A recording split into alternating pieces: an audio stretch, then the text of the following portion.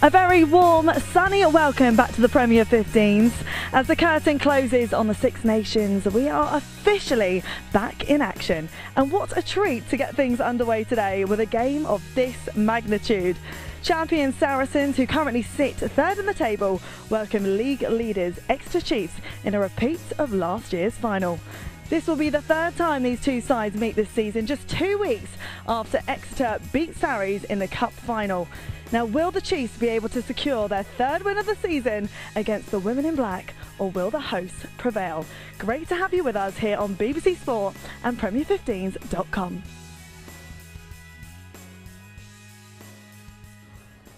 Hello and welcome back. The sun is shining and we're ready for some more Premier 15's action. It's great to have you with us and it's even better to have Rachel Burford with us too today. I mean, you've been super busy. Of course, we've just finished the Six Nations international break.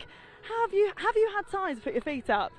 no, I don't think anybody has. It's been a really busy period, but it's great, isn't it? See women's rugby with pulling in all different directions. So yeah, it's been good to get back in the fold at, at Harlequins as well. So these girls straight back into it. Yeah, like you say, they are straight back into it. It's great to see so many big names in both sides today. Yeah, I mean. It, everywhere you've got international spring, sprinkled across both the Exeter Chiefs but also in Saracens and it'll be exciting to see how they can regroup after being away for so long not having much prep time coming into this um, so yeah but it's going to be interesting to see how which team can manage that the best today yeah, I mean, we are restarting at this weekend, and what a game to have to enjoy today. I mean, Saracens, they were they are reigning champions.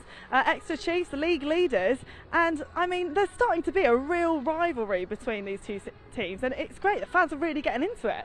Yeah, I mean, both teams are really loaded uh, across, but both in the forwards and also in the back line both teams coming in really good form. Exeter, mm. 13 wins on the bounce. Same for Saracens. They come in having won eight games, apart from the, the cup final that was against Exeter. So there's a bit of old ground there that they'll want to rectify. But yeah, both teams in really good place.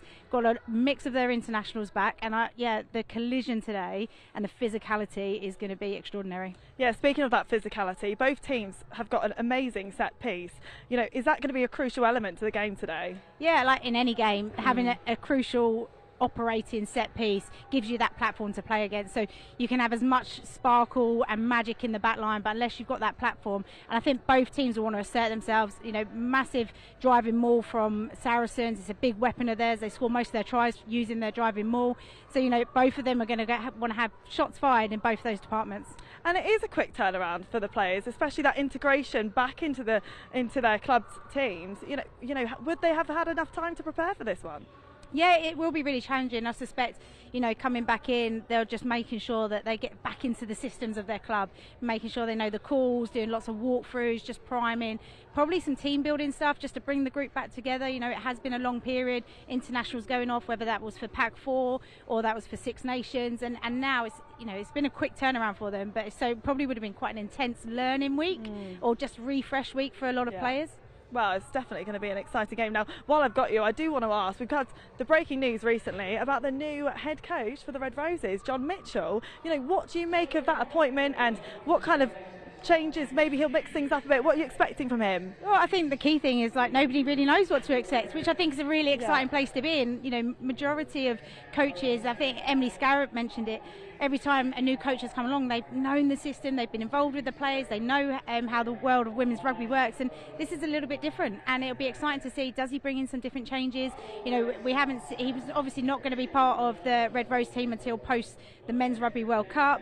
But yeah, ex- extremely op- exciting opportunity to see a new coach come in of his pedigree with all of his experience, especially being at World Cups. And, mm. and so for, for the Red Roses, I think they're all really excited to get a new voice in there uh, and something for a bit different. It is a really exciting time for the internationals, but also for us because we get some Premier 15s action today. So we've got the champion Saracens against league leaders Exeter Chiefs. How will this one go? Well, only time will tell. And Rachel Burford, you're going to be heading out to commentary with Nathan Middleton. But firstly, let's hear from both the coaches as I caught up with Susie Appleby and Alex Austerberry.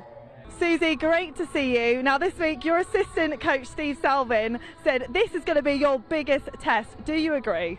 100%. Why? Well, um, there's different challenges, aren't there? You know, we've we've all, as a first team squad, been off the field for so long. So it's how how quickly you, you regather and uh, how cohesive you are on the field. Um, but make no bones about Sarries, and they're a fantastic side. We're a good side that've been performing well, so it should be a really good game.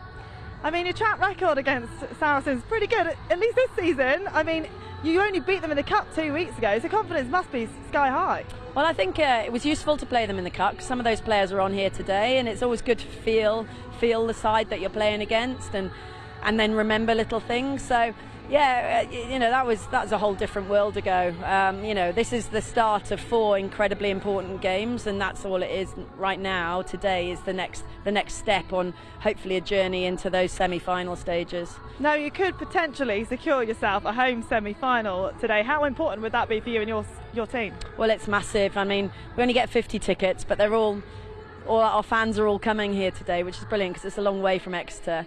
But um, it's huge playing at Sandy Park. You can't over overstate how, how important that the family and the and the crowd is. So yeah, of course we want to play at home, but you know we're we're into a semi-final, which is brilliant. It's a good place to be, but of course we'd like that to be at home. Well, best of luck today. Go well. Thank you very much. Alex, great to be back in league action. This week you said it's felt a bit like Christmas getting your internationals back in the fold. What's it been like to get them back? Yeah, it's brilliant. Having everyone back in the facility, everyone back together is pretty special. Uh, you know, the biggest thing about this group, it's special. It's enjoyable to be around. We challenge each other and we push to be the best. So to everyone back in the same room is absolutely fantastic. And what was it like for you to see Marley Packer captain the England side to that victory? And she's now committed to the club for another two years. Uh, fantastic. Uh, you know, Marley's a very special person. Uh, important to us off the field, on the field, and seeing a you know, recognition as captain of your country you know, on the biggest of stages with that 58,000 people lifting that trophy is absolutely fantastic. Uh, and we hope to see her lifting many more trophies in a Saracens shirt as well. So yeah, it's brilliant to have her on board. A massive part of what we've done over the last few years, and, uh, and certainly will play an important part in the next few as well. Well, a challenging fixture today against Exeter Chiefs. You are three wins on the bounce, and you've never lost to them at home. How are you feeling ahead of this one, and how have you prepared? It's, it's unbelievably exciting. People say, "Oh, it's a, it's a big game. How, how do you feel? Do you get nervous?" Uh, nervous is part of the game, but it's actually the, the thrill of the challenge. You know, they've had a very good year. Uh, had a very good year last year. We know tight games against them, including the final. And you know, really excited to see what we can do. You know, the, the gauntlet's been laid down by them, and it's can we meet that? Can we be the best that we can be, and see if we can put a performance on today? So yeah, that the nerves are more around the, how good can we be because we know we're going to have to be very good to beat a very good side. We can't wait to watch. Thanks for your time. Brilliant, thank you. Alex, great. Glastonbury and Susie Appleby-Best in conversation with Ashley Wilmot. A very good afternoon from the StoneX Stadium. Just two months have passed since the last Allianz Premier Fifth match for these two sides, and which time the Red Roses have become Grand Slam champions. John Mitchell has been announced as Simon Middleton's successor, and we've appointed a new king. But who will be crowned the champions of England this season? This match in North London could go a long way to deciding that, as the league leaders, Exeter Chiefs, travel to the champion Saracens in a repeat of last year's final. Just sit back, relax, soak up some of the gorgeous mid-May sunshine in what should be an enthralling afternoon at the StoneX Stadium. Let's have a look at how these two teams sit in the table heading into round 15. Gloucester Hartpury against Loughborough, the other match kicking off slightly later today. Six teams in action on Saturday, but as you can see there, Exeter Chiefs leading at the moment after 14 rounds. 13 bonus point wins in a row since the opening day defeat at Gloucester Hartpury. Saracens, a tricky season for the champions, particularly without their internationals at the start of the campaign because of the World Cup, but they're on an eight-match winning streak now, beginning to climb up the table. This match, huge implications on those top four places. Let's get a look at the confirmation of round 15. Those three games taking place yesterday. Huge win for Harlequins at the stoop over the bottom side. Harlequins, Ellie Kildunn scoring four tries in that one. A bonus point win for the Warriors as well. Impressive in their run out against DMP Durham Sharks. And then Bristol Bears continuing their top four hopes with a bonus point win at Sale Sharks. Lark Davis, the England hooker, getting a couple of tries there. So this one, the half past two kickoff, and then on Premier15s.com you can watch Loughborough Lightning against Gloucester Hartpury this afternoon as well if that takes your fancy. Let's have a look at the two teams then. Saracens to start with, and fresh from leading the Red Roses to a Grand Slam as captain and committing her future to the club for the next two seasons. Marley Packer returns as co-captain alongside Lottie Clapp. The pair are part of nine changes from the last Prem 15's outings against DMP. There's a whole new front five, complete with prop Hannah Botterman, her first club appearance of the season after returning with England following injury at the World Cup. Recent England debutant May Campbell has 19 tries in all competition. Jess Breach is Sarri's top try scorer with 12 in her first season in North London. The champions, as I said, on an eight-match winning streak in the Premier 15s coming into this. On to the Chiefs, fresh from their Allianz Cup win. They'll be looking to secure a third win over Sarries this season, having won 37-19 in the reverse fixture. Susie Appleby's made three changes from the round 14 match at Sale when she last had her internationals to call on. Cliodhna Moloney, Eilidh Sinclair and youngster Katie Buchanan coming in. Moloney scored twice in that 29-19 Cup final win over Sarries. Maisie Allen's stellar season has been recognised with a nomination for the RPA Player of the Year this week, alongside Chiefs teammate Claudia MacDonald. She's absent, though, with a knock. Allen is on 17 tries this campaign. The Chiefs looking to continue their record of winning every game so far on the road this season.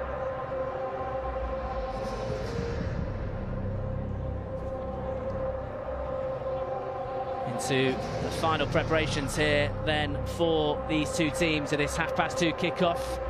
Saracens really tried to make a, a name and some noise in this fixture, expecting around a thousand fans in this afternoon here in North London. Saw by some of our shots, the uh, team were greeted by the Saracens supporters with some flares, with some flags, and with some fans as well. As Poppy Leitch leads out the league leaders. The replacements and a couple of the injured players getting their heavy pats on the back, running into this sunshine at the StoneX Stadium. Such incredible progress from a couple of years ago in their inaugural season. And this Sarries Exeter rivalry really cranking up a notch as it was a few years ago in the men's game. Becoming a real fixture and a statement fixture and one to look out for in the Premier 15s. And there's the extra huddle. Just waiting for Saracens to come out now.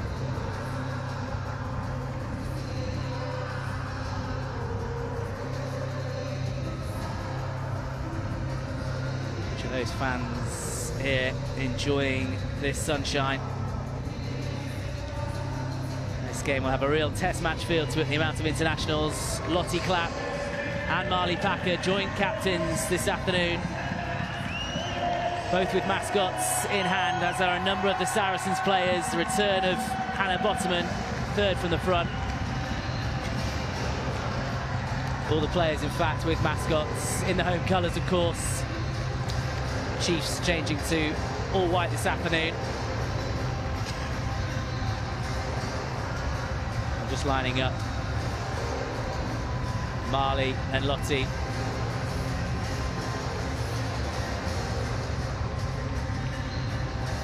For a pre-match picture as well. Good to see the return, I'm sure Sarries fans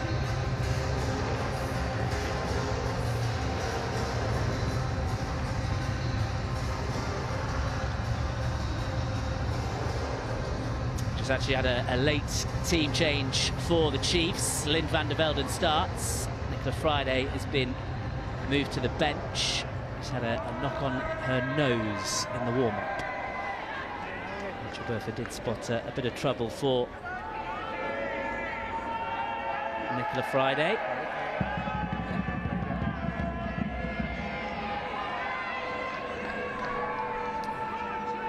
Referee this afternoon Harry Walban will be guiding us through proceedings. There's McGovern there just uh, dropping the ball. Thankfully, the game hadn't started yet. A Kiwi number 10 getting us going in North London.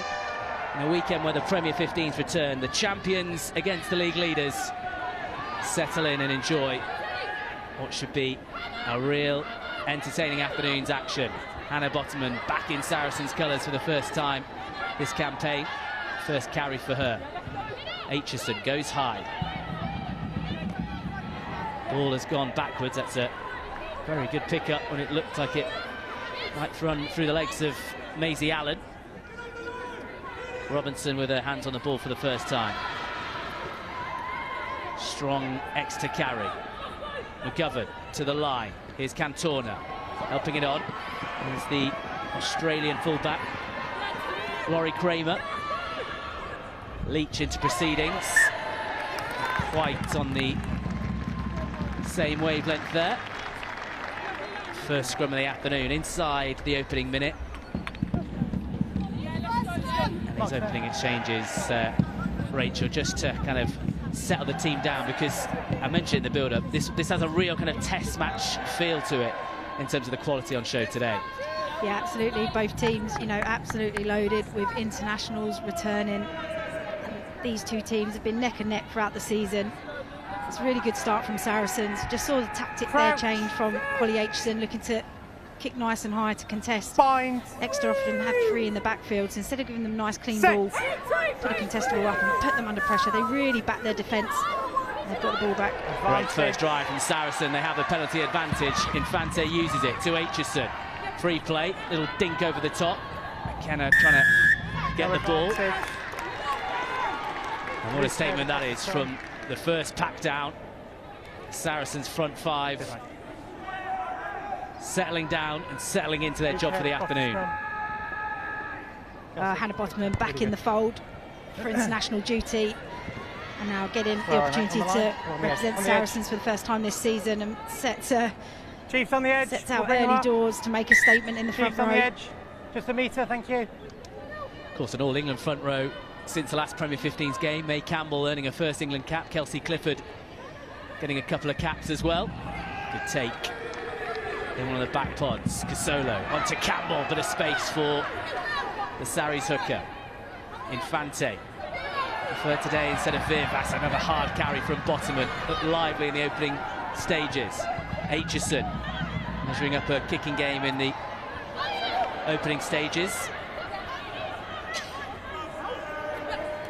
Short for Robinson. Carry from Johnson there. Exeter looking to clear their lines and Cramer with the big right boots. Aitchison inside to Jess Breach, who's settling into life in this 15 role for Saracens. Still a, a winger primarily for the Red Roses. Evans with her first carry. Aitchison a bit deeper this time and with a no-look pass. McKenna lets the ball bounce, just a, a gap nearly opened up. Long pass off the floor to Aitchison. No, Stellar Six Nations campaign for the Saracens fly half, of course, still without the injured Zoe Harrison. Expect to be without her for the rest of the season. Aitchison with a dummy, clever play. McKenna just not quite on the same wavelength. The next to looking to counter-attack. Cantorna with the hack forward. Breach coming back. Looking to try and work some space. Throws the ball out the tackle as Infante was trying to help her out. And the carry from Sarries. Gregson trying to help them out of trouble. Still some work to do here.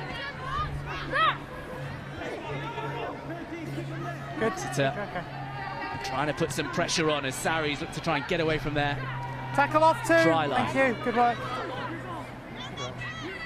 Okay, available. slow at the moment. Use. Aitchison is deep, way behind the try line. The hand you've had.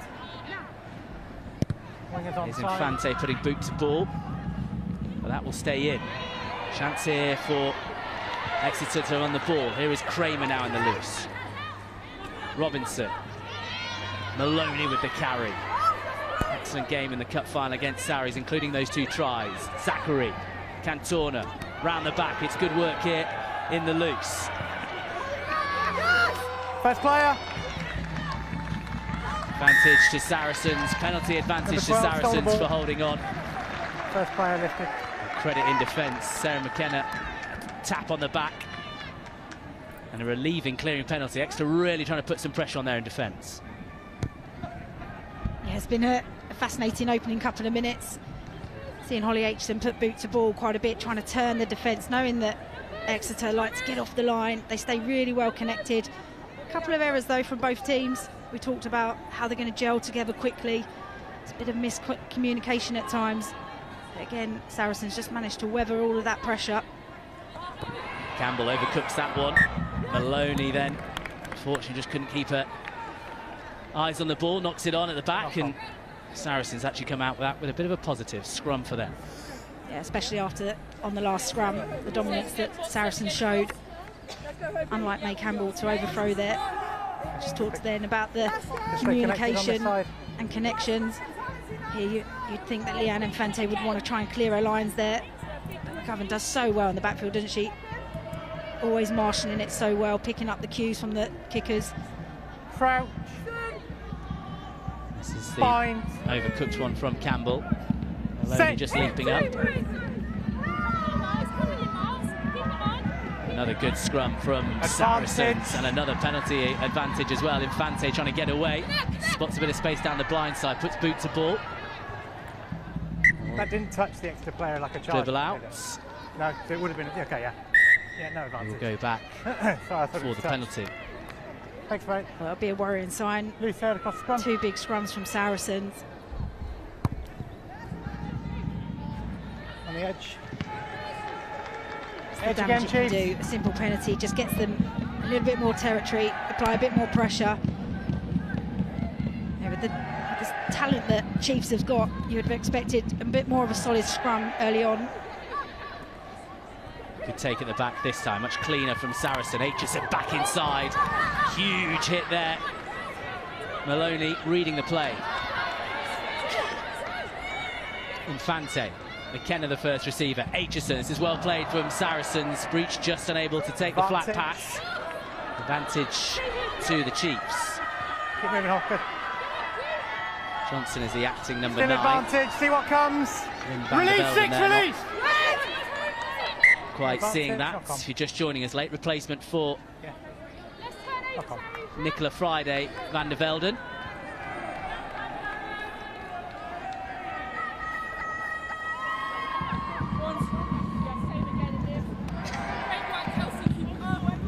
It's a bit unfortunate there that the ball didn't go to hand to Jess Breach. They'd Oh, actually beaten Exeter. Exeter on the fold. Holly Aitchison working hard to be an extra player on that right hand side. Okay. Just couldn't find Jess Breach cleanly. Smiles on the Chiefs' faces. Why not? They sit top of the league.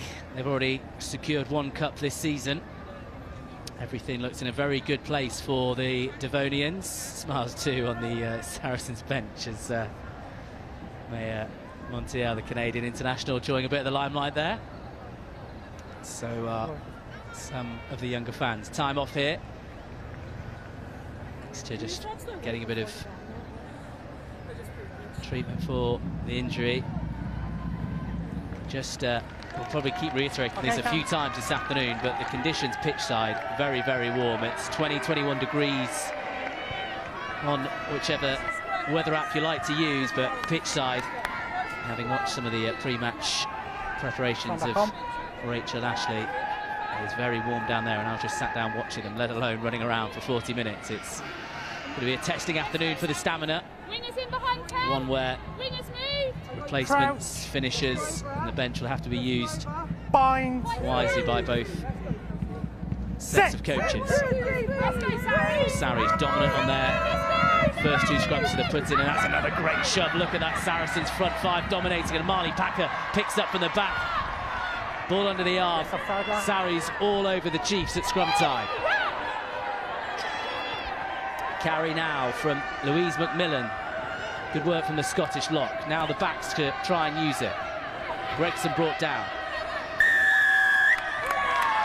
Turnover penalty for holding on though for Chiefs this time. Player lifted the ball. Oh, Sheehan on the ball, the winger there, getting her arms on it and stopping that Sarries attack. But at scrum time, Rachel, there's work to be done. Yeah, again, on Exeter Chiefs attacking ball, you'd expect them to be able to hold the scrum, try and get the ball out as quick as possible. But the drive there, you just see Hannah Botterman get up in it just edge, underneath her opposite number. And great attack off the back of it, but important still on the edge there. Great chop tackle here from Kate Zackary, which allows for a winger to get in and locked over the ball. Small. Well, the line out certainly functioning at the moment for Chiefs. Great take in the middle from Leitch. Moloney with her hands on the ball. Forward. Wait. Wait. Onside.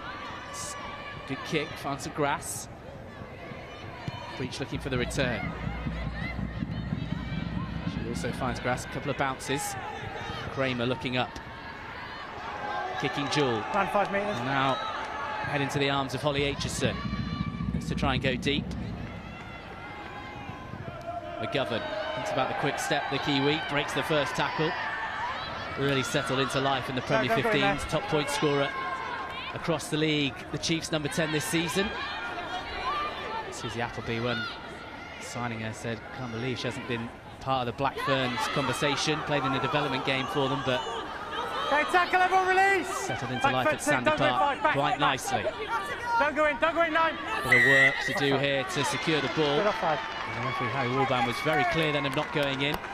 Entry Offside number given. five as well in field. Yeah, Saracens just trying to make a mess of the breakdown, trying to slow it down, draw more players in so they can get their backfield nice and set. Then just too eager. I think it was May Campbell just comes offside. Just over 10 minutes gone. Still nil-nil here. Exeter, in fact, in the whole of the Premier 15's campaign, they've only conceded two tries in the opening 20 minutes, so they do keep things tight in the opening stages. And they have done so far this season. Neither side really any meaningful territory or possession inside the opposition's 22. Van der Velden held up there, does secure it. Zackary looping ball out to the far side. Here is Buchanan with a bit of space. 19-year-old winger. Getting a bit of Premier 15's action as Sharifa Kasolo lines one up and big hit there on the Chiefs. Vantage. Knock on. And that one down towards the ankles and well, we picked up the game and the quality and the, the players on show, Rachel. There has been one or two mistakes from either side. The game's not really got into any sort of flow yet. Yeah, both teams making errors, connections, communication. You know, we talked about how disconnected some of these teams have been over the Six Nations period and the Pac Four. We're seeing glimpses of what both the, what both teams can do. Lovely set piece play, nice and wide. Just there, McGovern just drops her hands. Really difficult pass to take. Just gives Saracens back again. Another big scrum. Crouch. Bind. All of Exeter got in response Six. here. Hope Rogers, Cliodhna Moloney and Daleaka Menin. Hugely experienced and that is much Nine, better. that's a cross, use it or Grabbing to the sideways. Ball's out. Ball has come out. and Infante does well to give it to Breach. A grubber kick forward. That's a clever one. Turning Buchanan. Cramer coming across. And Sarry's on the line. that's something you associate with Jess Breach, a tactical ticking Sarry's game, but line. playing fullback for a club, it's something she's going to have to work on and obviously has. Yeah, it's always been a work on for Jess Breach to, to get different ways of attacking and, and being a different threat on the ball. Go. She's been fantastic this season for Saracens. No. Top try scorer for them. But you can just see that's a tactic of Saracens, just wanting to turn Exeter Chief, take that line speed out of them. Um, Ebony Jeffries just down on a knee, so time called off again. Let's have a look ten. at uh, some of the opening stats. Nearly 13 minutes gone. Sarries just edging possession over the Chiefs, Yeah, as good. well as the meters made. Scrum wise. Really good from Calvin. As you'd, uh, on that one, pin across there. Probably expect, given Bottom two before, or the one over. the first few and opening stages. Okay. Time on. Day for sunshine and sun cream at the Stonex. Where those fans are housed. We're in the opposite stand here, the brand new stand here. Very impressive, of course, in action yesterday as Saracens men secured a, a seventh final in 10 years, beating Northampton here. Number of season tickets, ticket holders allowed to come back in today. As Sarries try and secure their march towards the top four. And the women's team, their own final. Coreen Grant, the Scotland international. As the hard Ripped carry from by White, play on. South African Jacobs and then Back foot, stolen back by the. Chiefs. Leitch into Jeffries, back up. Trying to knock the ball on in contact there, yes she has. And it will be another scrum to Saracens. That was such good work from Maisie Allen. Got the rip in the tackle, got the turnover. Okay, Mark, And just another go. error creeping in. Both teams just really struggling to find any flow at the moment.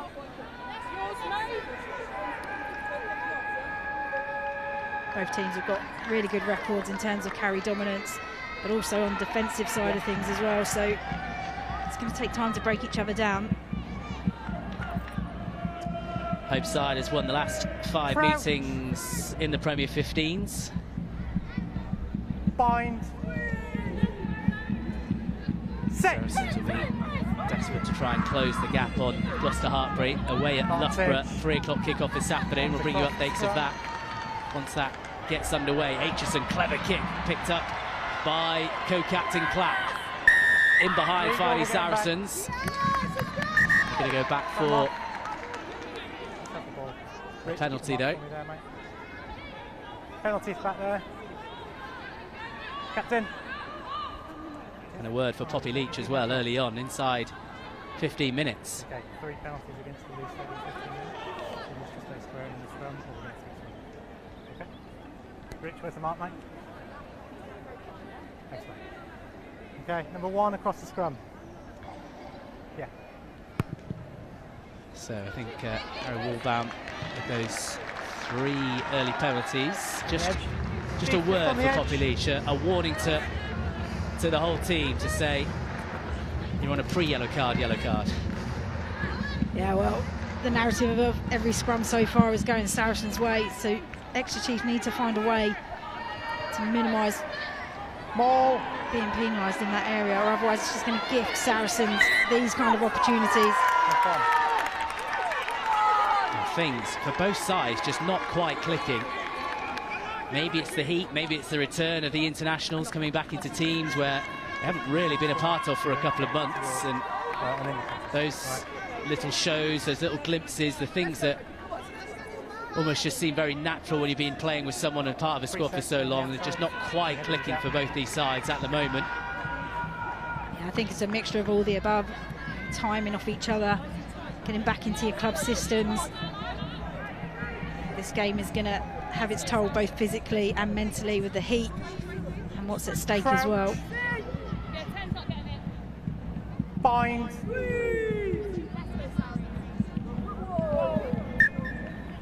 Mentioned Exeter's bonus point wins. It's 13 in a row since Okay. the defeat at home in round one to Gloucester Okay, Hartpury. But also don't just step back. All right, let's find that, find that balance. During that time, Control the 40 weight. plus point wins step.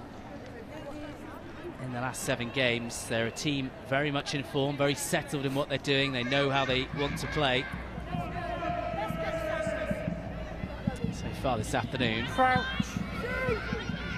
quite got into their game plan. Set. Another penalty, another scrum penalty to Saracens, and an immediate yellow card. It'll be Hope Rogers leaving the field. Difficult opening stages for the Exeter pack.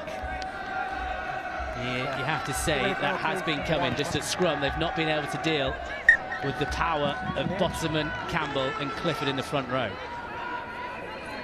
Yeah, it's been a huge struggle, and with the warning, Hope Rogers takes her marching orders. Big loss for Exeter Chief this opening 10 minutes now. I think Saracens produced from them all. They've got more tries from any other side from line-outs this season. Exeter doing well initially, disrupting it. I think they've got their hands on the ball there. Johnson wrestling for it. Hannah Botterman going round the bind side. Burst through one. Looks to go over in the corner. Hannah Botterman with a back finish. Props just don't do that sort of thing. What a return on her first appearance of the season. The Red Roses prop Hannah Botterman with a finish of the highest, highest quality. And what a way to introduce yourself back into club colours. Initially so good from Exeter Chiefs, disrupting the driving maul. But Saracens found a way to get the ball out, and then it was all about who reacted the quickest. And Hannah Botterman. See here, Exeter Chiefs in and amongst it, disrupting, and you heard the referee call, use it. Marlie Packer twisting and turning and finding a way to get the ball out. And this is just unfair. Hannah Botterman taking a huge run up against the winger and the fullback. And he'll dart into the corner. But that's what can happen. On the back of a yellow card, immediately punished.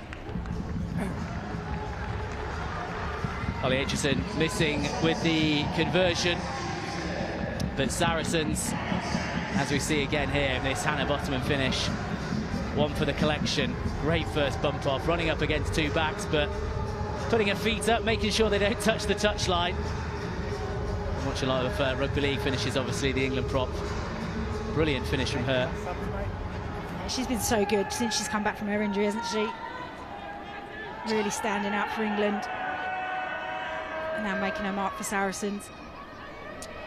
You watched any of the behind the scenes with the Red Roses documentary on England Rugby's YouTube, a hugely impassioned speech from Hannah before the France game, revving up the troop. Sarries She's really grown in the kind of seniority and leadership four, role as part of that team.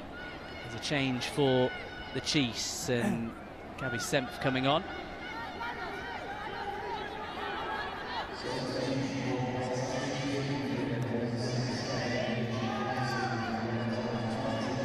So one less forward, of course, still. Hope Rogers, seven and a bit minutes to serve of her yellow card. Four in the line Okay, yeah, we're good. for the island hooker Cliodhna Moloney to aim for. Leitch, a regular target. Allen, the acting scrum half. Robinson, the distributor. McGovern, now picked up under difficult circumstances there Okay, tackle. from Sinclair, but forced back in the tackle. Robinson. Great rip Advantage, there knock from on, rip Katha forward from the Jacobs.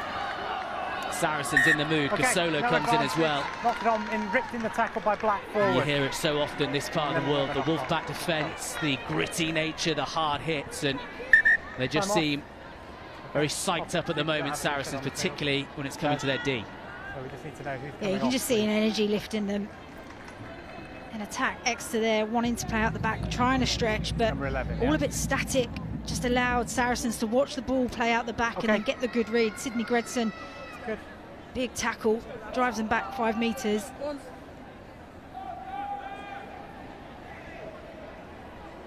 Something they massively pride themselves on is their defensive efforts. They like to suffocate teams, take away all time and space from them, make them make poor decisions or errors. So Katie Buchanan coming off for Abby Middlebrook, 21-year-old prop. Birthday yesterday. It's her sixth ever Premier 15's appearance. Six. They need some numbers in the front row, and in she comes, the loose head. Difficult one at the back, but Exeter finally come away with a more solid scrum. Advantage, knock on. Ball's not out. Saracens back in possession with the lead from Botterman's try. Infante. The out ball is Packer. Okay, advantage over for the knock. The number nine shirt, just a, a third Premier 15 start of the season for Infante. Played the last few cup games in this number nine battle with Ella Wyrwas. Advantage, knock on. Part of the England setup as Moloney there very nearly read the pass. Just a knock on. Ran into the frame of uh, Hannah Botterman. Not somebody you'd want to run into, but speed of ball from Saracens and the accuracy of pass from Leanne Infante, playing that speed. That's what they're all about, want to play the momentum, but good spot by Moloney. So Gabby Senft packing down at number eight at the moment. Crouch. With Ebony Jeffries off for her. Bind. Rachel Johnson switched to open side. Crabbing round to the left. Marlie Packer goes to the right, but excellent hit They from Maisie Allen. What a season the extra number seven is having. Good spot from Infante with a kick in behind. Zackary, the American, chasing hard, back at 13 today. To try and step around Coreen Grant. Such a vital part of everything the Chiefs do. Zackary, back in the 13 shirt past few Hold weeks after Of a lot of appearances at number eight as well. That kick will only find Aitchison. There's numbers to her left there. Looking to try and assess the play. Puts the ball under her left arm. Looks for the offload. Brilliant offload to Clapp. Following on the support line. Lottie Clapp with a dummy. Pins her ears back. Clapp. What a try from Saracens. Lottie Clapp under the post. A second of the afternoon for them. A brilliant score. A ninth of the season. The creativity of Holly Aitchison and the finishing of Lottie Clapp. Second try for the champions. Ah, That's great work from Saracens. Not sure McGovern wanted to put the ball right down the middle of Holly Aitchison's throat. You can see Breast, Jess Breach just outside her, pointing, go left, opportunity, and then she just looks up, sees two forwards in front of her, takes them on. And Lottie Clapp, one of the best wingers, just always lurking on the shoulders of the ball carriers. Nice little show and go there, just to turn McGovern.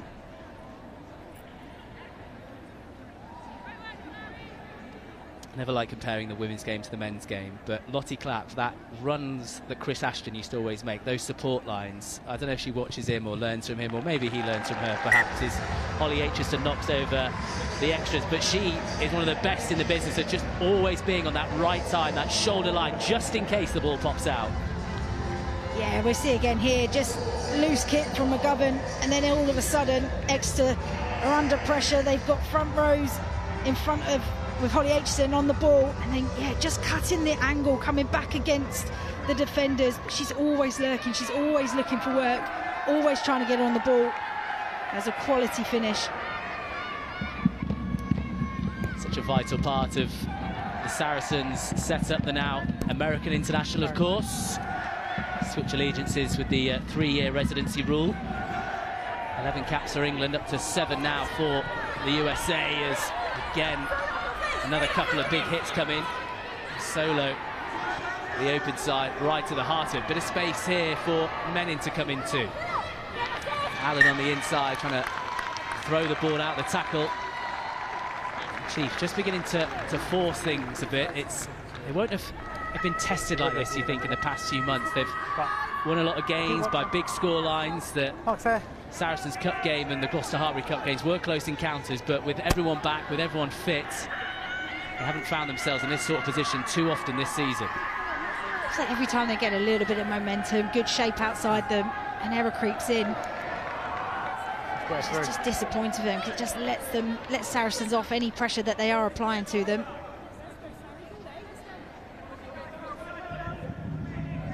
Crouch. A couple of instructions you might hear uh, once or twice Bind. this afternoon. We've got the extra coaching staff, Susie Appleby and Steve Set. Salvin, the assistant coach, just to our right-hand side, 10 or 12 metres away or so. Bit of insight if we can uh, get it from them. Infante whips it out to Aitchison, Outside, outside. looking for that touch line. Out on the full from the England kicker. Right idea, just slightly overcooked execution. Yeah, well, we've seen Holly Aitchison execute these perfectly in the past. Just gets it wrong by a couple of inches.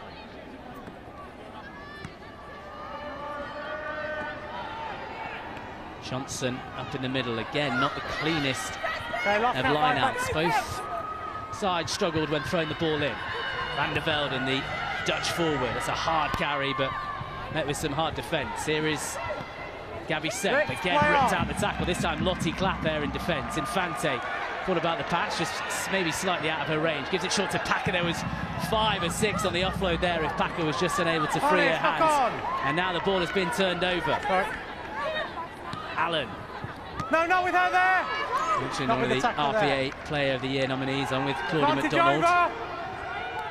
the Exeter Chief, Natasha Hunt, the Gloucester Hartpury captain, the three, who will be one of those, named as the Prem 15's Player of the Year. Finally, a bit of momentum in attack for the Chiefs. Johnson. Robinson, just juggled a couple of times by McGovern. Bit of space in behind there, difficult bounce as well. It's come back Exeter's way. Here is Zackary looking for the corner. Kate Zackary to get Exeter back into it. Brilliant, brilliant finish from the Chiefs outside centre. So much work to do still there with that bouncing ball.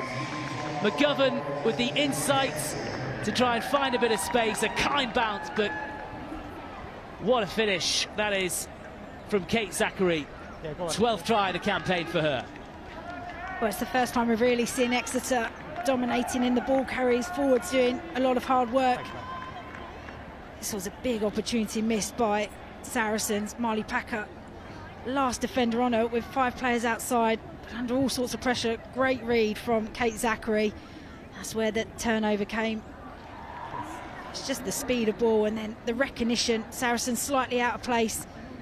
Sees that Coreen Grant comes up and then never let the ball bounce because you never know. And from this moment, you know that Kate Zackary is going to finish in the corner. Too much work for Jess Breach to do. Such an important part of everything Exeter do. Kate Zackary, 33 year old, 15s and 7s caps, USA captain.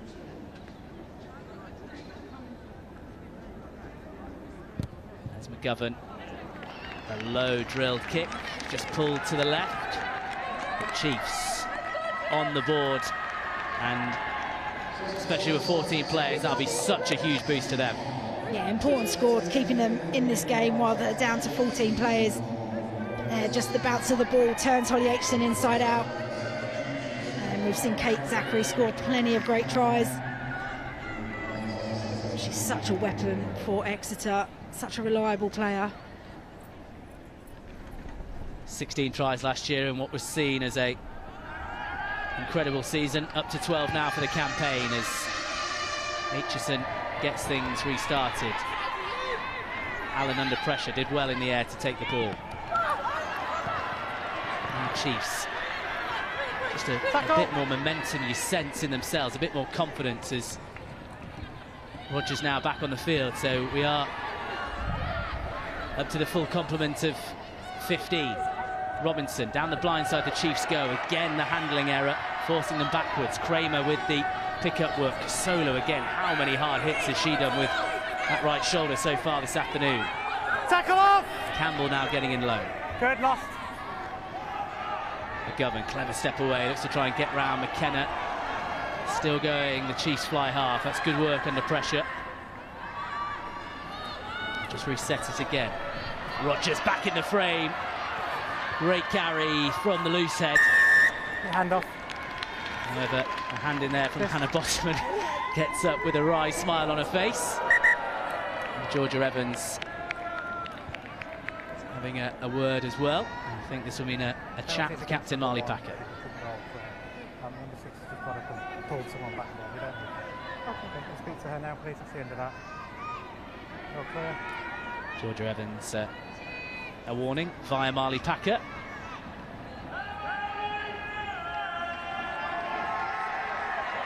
Oh, hope Rogers certainly trying to make up for that 10 minutes in the sin bin for a team.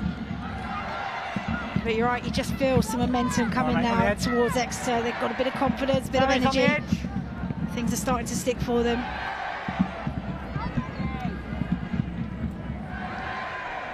Former number eight, uh, Hope Rogers, back in her uh, Penn State University days. And you can see it in the loose as well. When she gets going, she's a bundle of energy. Very, very hard to stop. There are a, number of excellent international signings from Susie Appleby. Remember, this team was put together in, in COVID. They're trying to sort their inaugural season out. Broken away. It's been some journey. Back-to-back Allianz Cup rock. wins and now leading the league with Tackle! four rounds to go of the 2022-23 season. Mitchell Johnson, another one of those signings from America.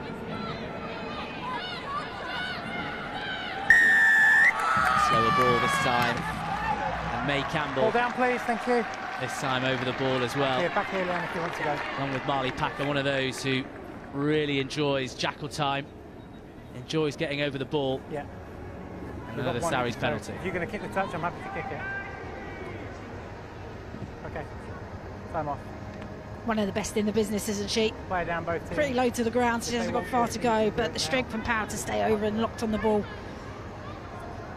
It was um, Poppy Leitch just got isolated, lost their footing, and then the recognition, the decision making around the breakdown, when to go in, when not to go in, is always so critical. And May Campbell often gets it right. Okay. Lind van der Velden just receiving some uh, treatment for Exeter. Six.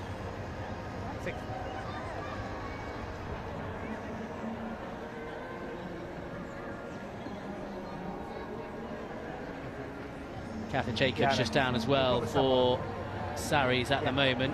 Okay, hold. Yeah. Fi Please, all McIntosh good.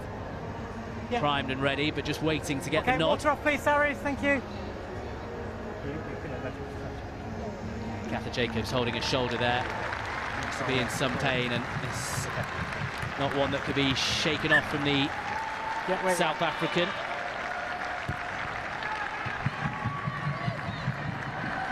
Started at open side against Exeter in the cup final. She looks in a, a lot of pain, Catherine Jacobs, but certainly a ready-made replacement in 23-year-old Fi McIntosh. Top line-out taker in the Premier 15s this season, McIntosh. No number on her back, so she should be pretty easy to pick out. Solo. Campbell into the line. Great line is Gregson looking for support. Grant on the inside line, well read by the covering defence. Good counter. Counter up from Exeter is good. Saracens Move just right. about keep hold of the ball. Fante, Aitchison, McKenna onto Breach in some space out wide. Jess Breach pinning her ears back, still going for the line, just short. Pulls out. Saracens so, so close. Here is Evans, the Welsh blind Tackle side. now! She's just short as well. Saracens sniffing a third try. Head down from Clifford, scored in the cup final, Short, goes close again. right. Exeter scrambling, Saracens confident. Half appeals, referee has a good look. Advantage offside, penalty. Instead, we'll go back for a penalty for offside. Still in striking distance. The quick tap from Sarries. Hannah Botterman is there, looking for Move a wide. second score. Infante busy digging around. That's looped up. Aitchison gathers, helps it on. Gregson picks up the scraps. And tackle release. Yeah, advantage. Number two on the floor, making the tackle. Another advantage coming Saracens' way inside the On your feet 22. to make a tackle. Another couple of penalties within quick On your succession. feet to tackle. Okay. Now, simple three for someone of the Holly Aitchison. Decision to make here between Marlie, Packer, Aitchison, Marlie, Marlie. Clapp as well. Scrum called. And the call is the scrub, and well, you can't blame them given- considering how that's gone so far this afternoon. Yeah, it's given them a quality platform, and if they get the advantage, then all of the back line, their ears will prick up and want to play with a bit of a free ball. But it's a lovely set piece play off the line out, which saw Sydney Gregson. She stacked Marlie out on the outside of the 13 channel. Just wonder if they were all watching what was going to happen out wide. Took their eye off Gregson, who went through, which gave them all that momentum. Throw. Just slightly Fine. right of centre then this scrum. There's three Six. backs to the left, three backs to the right. First securing the ball, which Saracens have done with ease, and Marlie Packer again has the ball at her feet as the scrum goes forward. Infante just tries to help it on. Stolen by Laura Sheehan. She knew that uh, Not square. Yeah. it will be back to Saracens. So Eilidh Sinclair, sorry, rather than Sheehan, who's on the, uh, the bench this afternoon. Not square. Not square. Okay.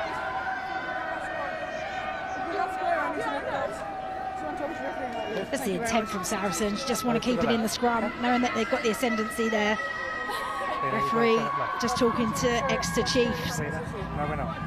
Both Daleaka Menin and Hope Rogers just saying you've got to be able to stay square. Heads in your gaps, Chiefs. The territory is quite close, 12-5.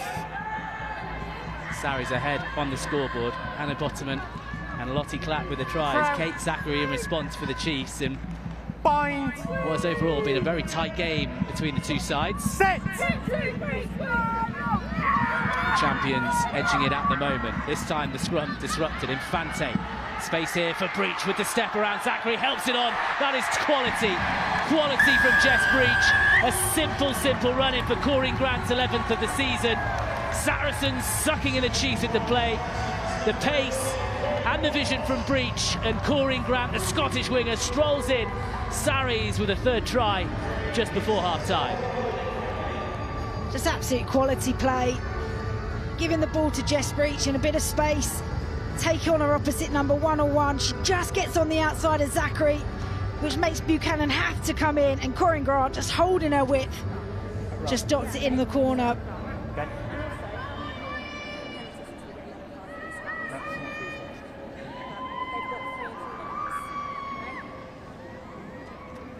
Clapp, you might have heard on the referee's mic then, just asking the question about the penalties at scrum time.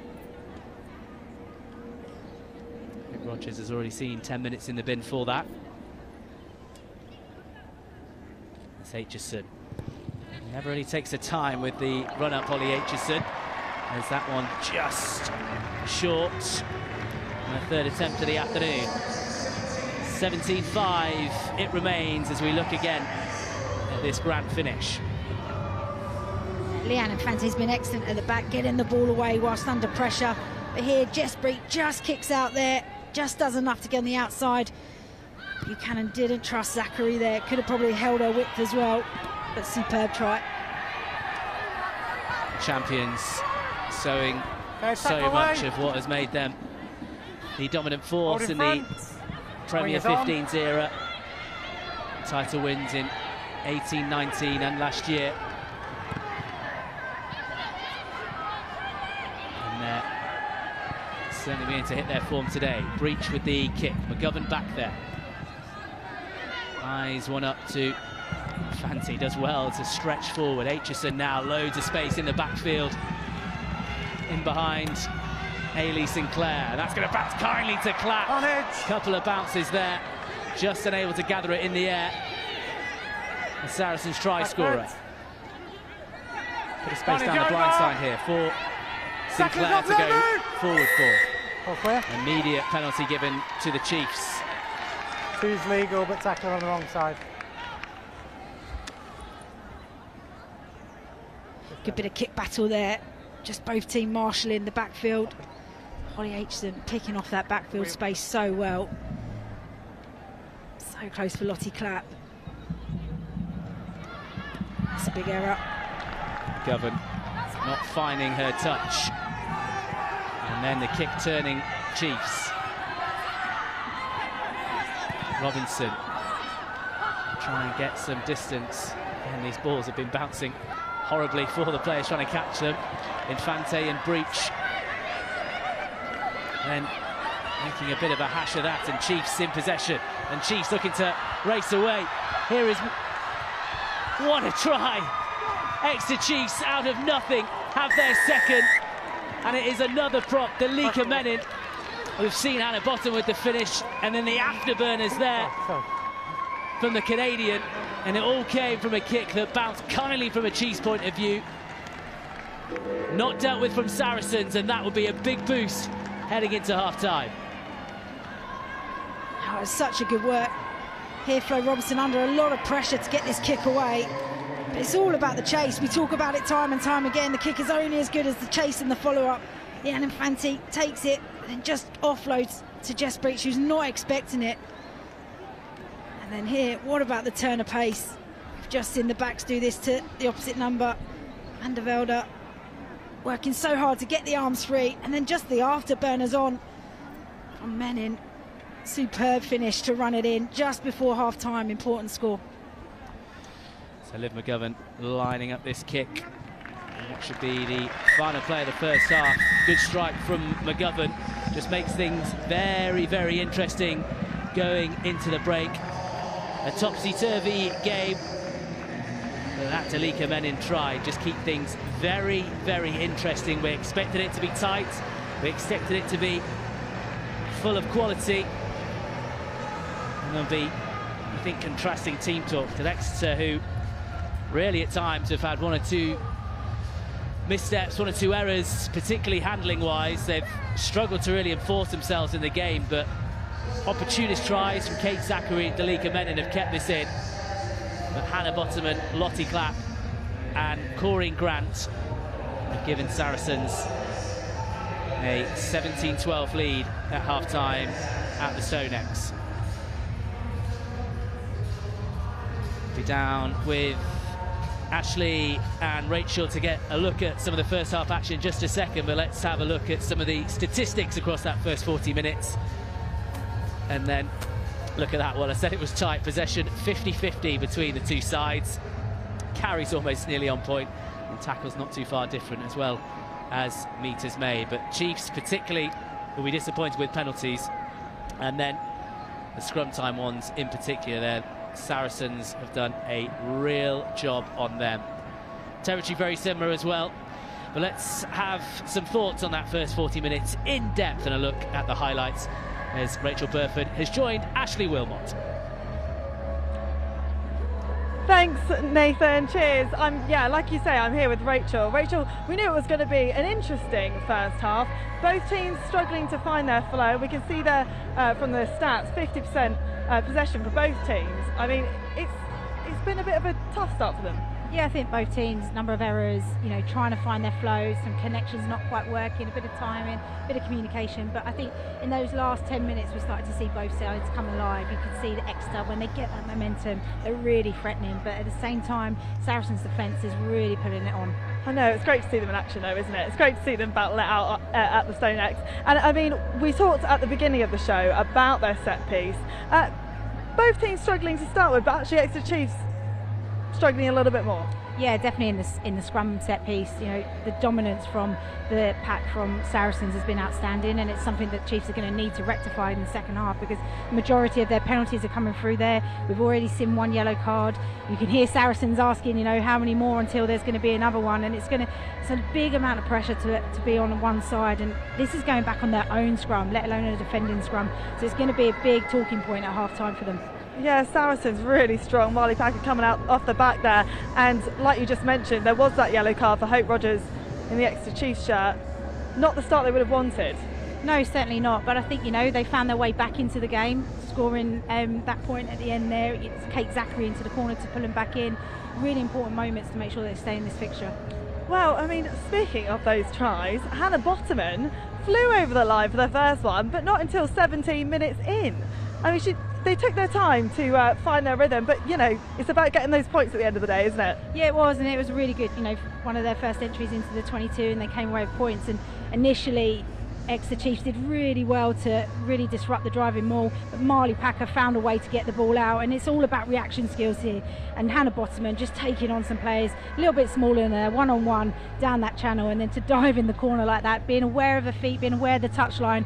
You know, it's not an easy skill. She makes it look easy, but the power game, bumping off one, getting to the try line, and then just making sure her feet are nowhere near a great impact from her to come back into the Saracen shirt. Yeah, she definitely does make it look easy, and it's great to see the scoreboard tick over with the Saracens try, and they just kept going because the co-captain Lottie Clapp managed to find herself over that whitewash as well. Let's take a look, shall we? It was a great bit of play. It all came from pressure from McGovern. Probably not her best strike, kicking it right down the middle to where they're fully loaded. Four in the backfield. Holly Aitchison just picking off what's in front of her. She does this so well. See, she's got two forwards in front of her. And Lottie Clapp, one of the hardest working wingers around, always looking for work, always getting on the shoulders of the ball carrier. Ball back in two hand, just puts doubt in McGovern's mind, turns her inside out, and we know that Lottie Clapp can finish from a long range out, but also from that close as well. Yeah, and like you say, Holly Aitchison, she's having a great game as well. Her kicking game is on fire. Yeah, she's just so calm and composed, isn't she? Their, their systems and their exits are really, really well organised. But you know, when she picks up, she gets her moment. She just looks up, sees what's in front of her, and then plays what she sees, and she's great at that. And then, of course, we did see Exeter Chiefs come back firing with starting with that all-important turnover. Yeah, well, uh, initially they were in control and then they managed to lose the ball. And then Leanne Infante trying to find the space, but closed down really well by Kate Zackary. Again, another rip in the contact area. Bit of an error from Packer, which you don't normally see, but then it's just the transition, the speed to get being in defence into attack. You can see here just the backs and the forwards working to get to some shape, and McGovern here just can see that Sinclair, sorry, Corrins up in the line, so there's a bit of space in the background. And when you've got a bouncing ball, all bets are off. And Kate Zackary, we know how strong she is as a finisher. Again, a big dive into the corner. Not much there that Jess Breach can do to stop that. No, it was great foresight from Liv McGovern and great to see them get one over that whitewash. You can just see it again here. It's just capitalising on those opportunities, isn't it? Exactly. They're, they're a really strong team. When they enter into the 22, they often come away with points. And I think it's just they come alive. They're really alert. They're aware. They're, it's just the subtlety. A soft kick to put in like that is, is not an easy skill to do, and she picks it off so well. Saracens' third try of the game, coming off the back of a good scrum there as well. Yeah, quality scrum, got the ball out nice and quick, giving Jess Breach an opportunity to take somebody on one on one. She just kicks out enough, which then what that does to the winger makes them have to bite in, and then all of a sudden, she's Coreen Grant is completely free on her outside to then just run in. But it all comes from the platform. There, Exeter actually get a bit of a shove on, so it's really well worked by Marlie Packer just to flick it out the back to Leanne Infante. And then Jess Breach drawing in two defenders under all sorts of pressure, but still manages to get the pass away. They do look very happy with that one, don't they? and then out of nowhere, just before uh, half time, of course, Exeter Chiefs managed to get another one on the scoreboard. Yeah, quite critical just before half time, you know. A bit of nothing, came out of nothing really. A bit of a loose kick from Flo Robinson, but it's all about the chase and the pressure. Communication here, I think Jess Breach thought she was going to carry, and then Cramer just being all over that ball like an absolute rash. And then it's just again the quick thinking, quick hands, great body transition, and here getting your hands through the tackle, being able to offload, and then Menin. I mean, talk about afterburners. McKenna is no slouch, but can't keep up. And I think you know this is a real turning point considering the half time just came up. Well, there we have it. The score is 17 at 12 at half time. Saracens just edging it, and I'm pleased to be able to introduce Saracens players uh, Poppy Cleall and also uh, Claudia MacDonald from the Exeter Chiefs team. Guys, thanks so much for joining us in studio. Poppy, I'm going to come to you first. I mean, you are leading, but it's been a tough first half, hasn't it? Here we go.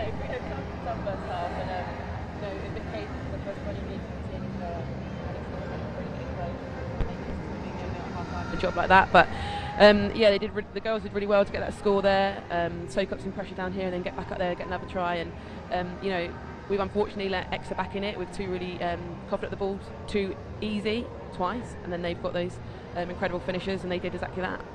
Claudia, I mean, you're on the back foot here a little bit. Not a position that Exeter Chiefs are actually used to being. Uh, no, not necessarily. We normally have quite a strong start, but it's certainly something that we we probably anticipated coming to Saracens. You know, we, we knew coming here was going to be tough. It's a long journey from Exeter. Uh, it's a tough stadium to come to. And Saracens, you know, they had some really good players that were re- really on form at the moment. Like we know they're going to be a good opposition. So I think we were prepared, prepared to go under the sticks. Uh, to be under pressure and now like you see that work rate that effort in the last couple of minutes of the first half I think we're going to see that again we're going to come out firing in the second half I think it's going to be another another good game of rugby and so what sort of things will be being said in that changing room right now uh, I think the obvious one is obviously about the scrum. Uh, you know, we've been unfortunate to give away a few penalties there. Um, but you know, again, like we've got a, you know we've got an unbelievable front row and, a great pack. So I've no doubt that it'll be a few corrections and they'll come out um, and you know really steadied and, and, sort of put together again for the second half.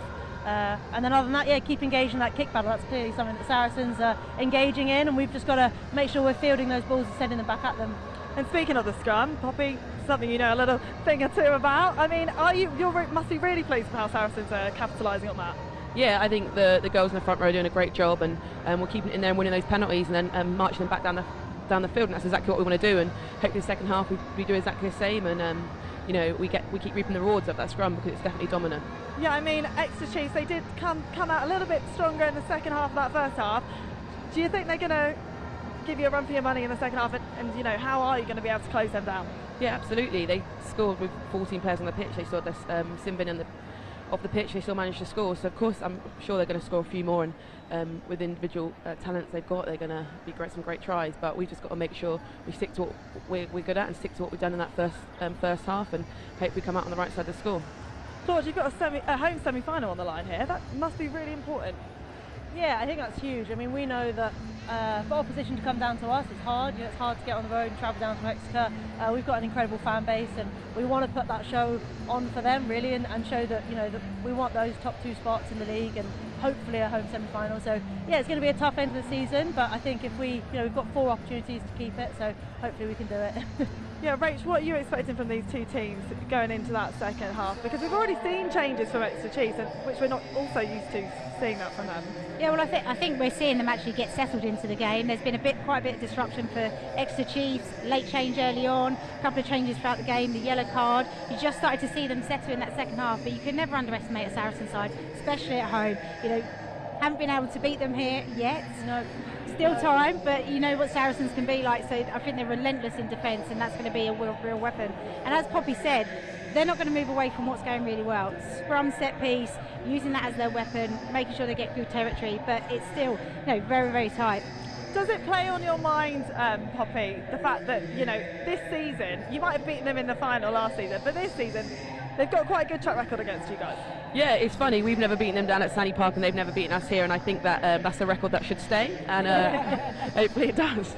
Well, yeah, well, we'll have to wait and see, won't we? And now, fortunately, now that we've got you guys in the studio, I do want to talk to you because, of, of course, you've just been in Six Nations duty. Now you're back at the club, um, and there's some, been some big news that you've got a new head coach, John Mitchell. Uh, you know, what's the thoughts in camp? Can you give us some insight? Well, it got announced when we weren't in camp, so we've not really been like sort of Mm. around the buzz. But you know, the girls are excited to get you know sort of a, a new voice, a new um, sort of eyes on training, and just get our heads down and work. And I think when a new coach comes in, you just got to be like, yes, sir, whatever you want. Do you want a cup of tea? Like, just get your heads down, and get working, because you know they come in with different ideas, different sort of uh, styles they want to play, and I think we're just already uh, really excited to, to kick on and kick on to the 2025 World Cup. Yeah, Claude, does it mean like everyone kind of raises their bar a little bit now? Um, I don't think that. I think we're you know always pushing the standards higher and higher in training and, and in camp and uh, and for those games. But I think absolutely it kind of you know might ruffle a few feathers and um, you know different coaches have different opinions, different ways they want to play the game, and that bodes better for certain players and, and less well for other players. So I think yeah, absolutely everybody's going to try and put their stamp. Uh, you know, to the new coach and, and prove that they want to be on that team. So it's just going to open up potentially a few more opportunities. But yeah, I think it'll be good, good, good to get fresh eyes in. Yeah, I mean, mix it up a little bit, right, guys? Great to have you in, with us in the studio. Rach, I know you've got to run back up to commentary. Good luck to both of you in the second half. Uh, now, O2 Inside Line have been at it again, bringing you all the very best bits of the international season. Now, let's take a look at that Grand Slam win just a few weeks ago. England France is always a tough game. Definitely going to have to take a moment to take it all in on Saturday. I think when you get to a game like this, when you sort of know the outcome of the tournament lies on it, you're always going to get nervous. I'm just super excited. A record breaking crowd at Twickenham HQ. It doesn't get much better. Whatever happens in the build up, I need to go out onto that pitch and nail my role and do everything I can for the team to get the win that we want. Let's get excited. This is the last big push. Roses on red. Red! Roses!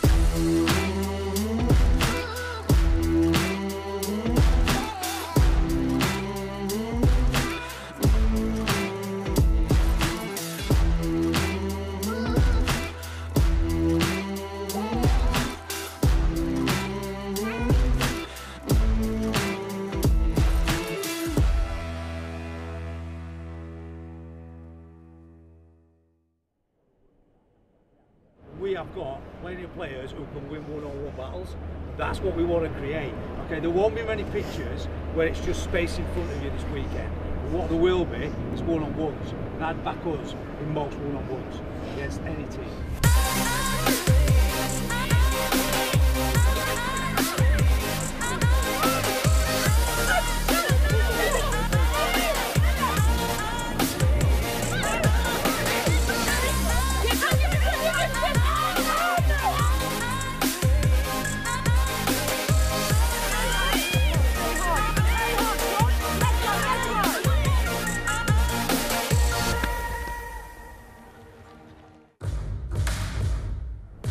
True to what we've done.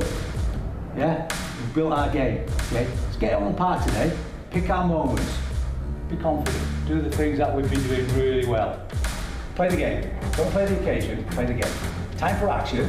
We'll do all our talking afterwards. Right? Well, let's just go. Play the game. Be the best version of ourselves. And if they're better than us, fair play.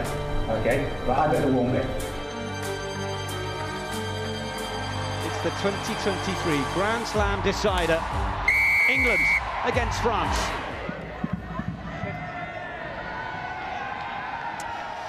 A little teaser into the game for England against France. Uh, if you don't know the results, uh, without trying to spoil it to you, England secured another Grand Slam as we were just talking about. But if you want to watch the full episode of the Red Roses behind the scenes, head to England Rugby's Okay. YouTube channel.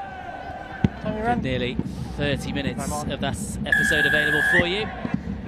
As uh, two teams are out, referee has a blow, and Holly Aitchison gets us going in this uh, second half. And Poppy Leitch comes forward, doesn't quite gather it. No arm out from the referees. I think we're saying that uh, came off a, a shin.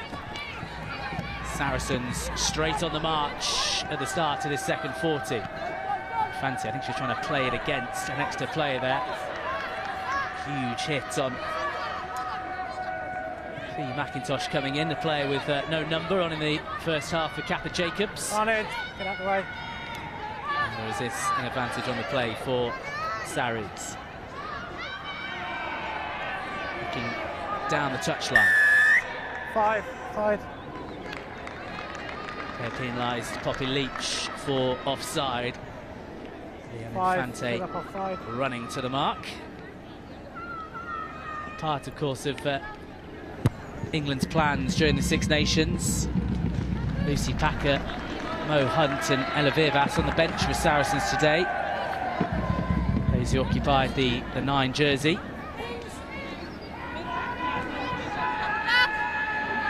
First line out of the second half. May Campbell, usually so reliable, but one or two issues in that first 40. Evans is the front pod Oh. jumper. Saracens immediately go to the right-hand side and good initial momentum before Chiefs recover. Okay, that's one, Sarries. Ah, At the back through Hannah Botterman, ready and waiting. Man stationary. Opening try scorer of the game. Infante calling for some replacements.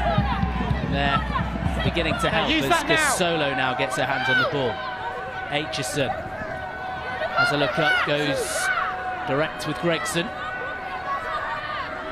Infante, that's in behind Botterman. A couple of attempted hacks forward, but Saracens regather. Evans round the back, Aitchison just delayed for a second, actually rode the first tackle through Tackle. Allen, but wasn't unable to unleash the ball this time. Packer, McKenna, Evans now, two to bring down the Welsh flanker. Saracens beginning to get into their stride. This is quicker ball there, making dominant carries inside the 22. Aitchison back inside for Campbell. Infante to Clifford now. Good drive from ah! the Saracens tight head. Aitchison just beginning to really pull the strings in the centre, going over the play now. Saracens quick ball for Kasolo with her head down. And off. She goes close. Backer gets a boot to the face there, I think, before she goes close. Infante, Campbell to Botterman. Just slightly upright into contact. That allowed Exeter to go close. Campbell now for the line! And there is the bonus point score. It was relentless pressure, relentless carries from the champions. And it is May Campbell, a 20th try of the season in all competitions, who goes over with a snipe from the base of the ruck. Saracen strike early in the second half. Impressive start from Saracens in this second half, all off the back of errors from Exeter. But here, great shape lined up on the outside. Hannah Botterman's dealt with initially on this carry. Then you can see the forwards all working round. Exeter Chief thinking they're going to go the same way, and May Campbell just picks it off.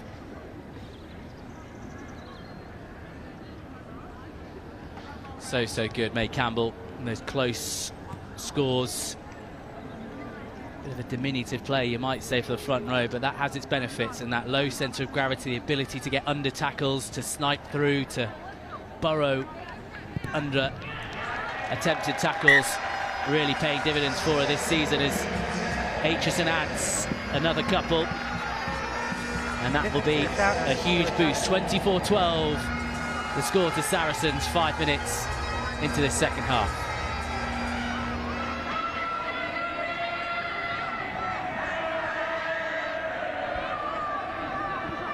See again here, the setup from Botterman. Great finish from May Campbell, riding those two challenges and able to just get under it. White knock on. And the other game is a three o'clock kickoff at Franklin's Gardens. It is Loughborough 5, Gloucester Hartpury 14. Second place Gloucester Hartpury, of course. The Results stays like this, would go back top of the table. Long way to go in that one, five minutes before half time in Northamptonshire.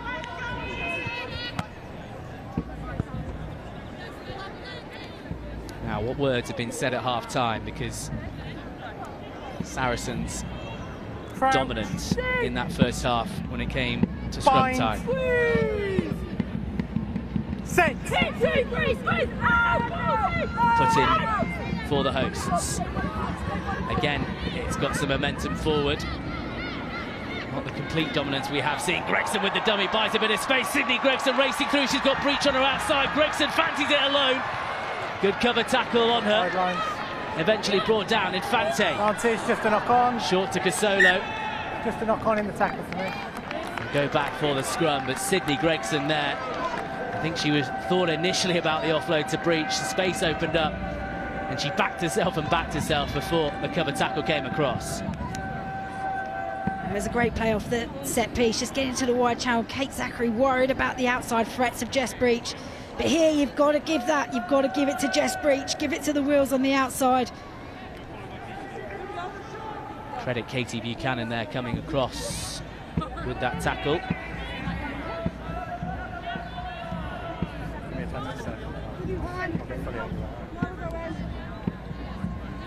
Saw from a similar position in the first half, inside the 22, Sarries split their backs. They went three and three. This one again, pretty much central, but there are five slightly to the Time right. Aitchison and Breach behind each other. McKenna Hold the weight. and Gregson then just outside them. I think Aitchison and Breach are looking to sweep to the left. Just having another word with Infante while this scrum resets. I think they're keeping an eye on McGovern, seeing where she's going to stack in the backfield.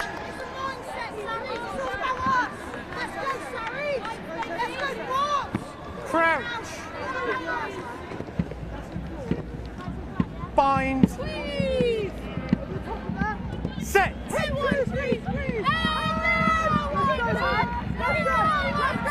Again, the initial stop from Exeter before Saracens pile on the pressure, pile on the power, and head forwards. Aitchison switches play to McKenna. Still be a penalty advantage for the scrum, so what can Saracens produce here? Evans takes the direct route. It will go back.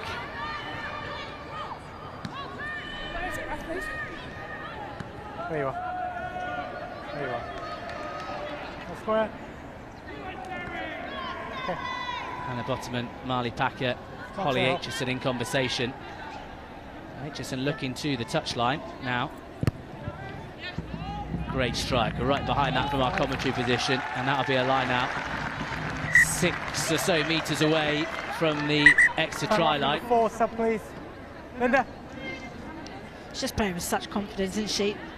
Holly Aitchison, just there. four, yeah. You can see her in, in the pictures, just talking to people around her, giving the direction of the way they want to play.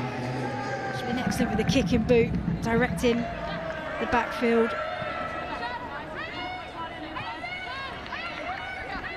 Emily Tuttosi on for Linde van der Velden. Saracens, well, not the cleanest of lineouts, but Packer does come away with it. And they just about come away with the ball. Botterman takes two, then three to bring her down. Good placement, Infante back to the blind side. Aitchison, Packer, McKenna for the corner, dots it down. So simple, so effective, and so, so good from Saracens, clicking into gear. And in this form, they've just got too much for any team. And that is a fifth score. Sarah McKenna A third try this season for her. And Sarries beginning to show their class. Yeah, just so good. Line out didn't go to plan, but they still found a way.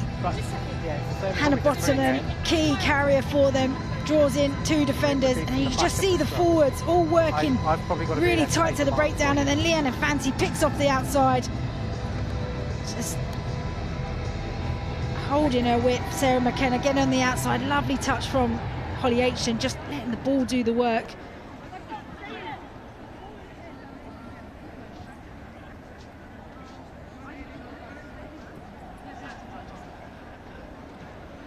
Aitchison from the touchline. Just the one successful conversion for the fly half this afternoon. Kicking did become a bit of a topic across the Six Nations and England's kicking. As we see this again, Saracens first driving to the right and whipping it down the blind side. Just the hands there from Marlie Packer and Holly Aitchison, just letting the defenders draw onto them and letting the ball do the work, putting it to the outside channel where McKenna then puts the pace on. 29-12 to Saracens then as Coreen Grant knocks the ball on and then Kasolo takes it in front of her, so offside. Oh, so frustrating, especially from a coach's perspective. Yep, good there, good there, good there. So this is going to give them a shot right into the corner. And their line-out's been functioning really well. Yep. Exeter, two opportunistic, you'd say, scores in the first half. From a position where they look quite out of the game, 17-12 at half-time. Five called. Slightly kind, but this their best attacking platform so far in this second half. First part is secure, taking the ball. Moloney, two tries in the cup final. 12 tries this season. But that's not really going too far. So Robinson gives it to Cantorna through the direct route. Leitch. Cramer with a goose step and a shimmy. Out to the far side and Sinclair. Robinson to Rogers, bruising a couple of challenges on the American prop. Cantorna acting as playmaker. Ripped, Ripped in the tackle. on. And another brilliant rip. How many times have we Off said this? playing the ball. Louise Dave, do you McMillan this it, Leanne? time with the hard work Off in the tackle. the ball, number three. Penalty for Saracens to relieve the pressure. That's a huge defensive set from Saracens yet again. Big opportunity missed for Exeter. Just a little bit indecisive at the contact area. Cantorna going right to the line, giving Mind it yours, flat to Keith. De- Daleaka Menin. Yeah, they do really well to stretch them. Sucked in a lot of defenders. Now they've just got to keep playing on top. Interesting ball presentation. Okay. No, you haven't. So say it earlier. Like Body on the line brief. stuff here Six from calls. Saracens. It's throwing themselves We'll slow it down if we have in to, some unless the dark numbers are early. places. But here they're just not asking questions from Saracen. You've got a full defensive line. Just tipping the ball on isn't going to disrupt him. McKenna, final try scorer, helping it on to Gregson. Aitchison. No! Not lifting ball and then off. Up you come, nine. Back foot. Big dump on the ground there from Chiefs. Clifford. Arnid. A bit more chat at the ruck from the ball. both Three. sides. Oh, number one, sorry. As you said earlier, Exeter not used to really being in this position, no, seeing themselves for it. so down on the Take off the scoreboard. Thank you, Marlie. Yeah, It's just about how they can keep absorbing this pressure, how they can take their moments when they get them. Yeah, They've I'm had gonna plenty keep of following the if they opportunities, don't give but them the early, error so count up from them. them Five call, thank you. seems to be having flows On the edge. For a couple of phases, and then they lose focus and give the ball back to Saracens, but discipline as well. Exeter pretty good in that department usually. Exeter win the ball from the line out.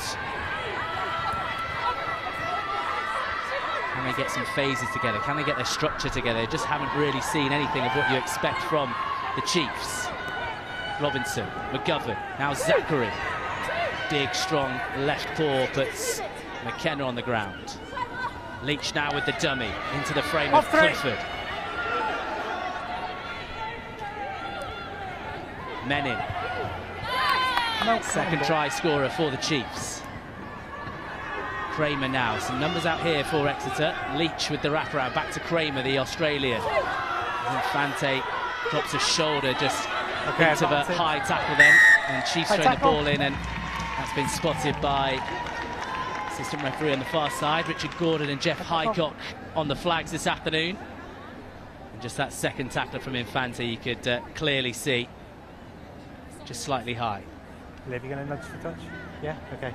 You want to do that, and then we'll get. We'll make sure. We'll make sure these two are okay. Okay, Liv, you can go.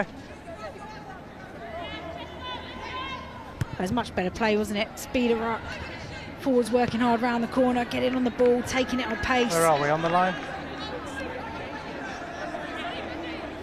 Georgia Evans just down on the floor receiving some treatment at the moment for Saracens. Kelsey Clifford was treated, stretched for a bit of cramp. Oh, We yes. mentioned the hot conditions. Uh, the sunshine has gone behind the clouds for a second, but still very, very humid and won't feel any less difficult in this weather as Exeter again. Marlie, option. Scrum Not call. quite on point at set piece You're time. outside, yeah, okay. It's just not going Yeah, right for them, is it? Each time they get a great opportunity or they work so hard to find themselves in a great attacking space, just the error lets them down. Fina, step back. Just the focus here. Step back.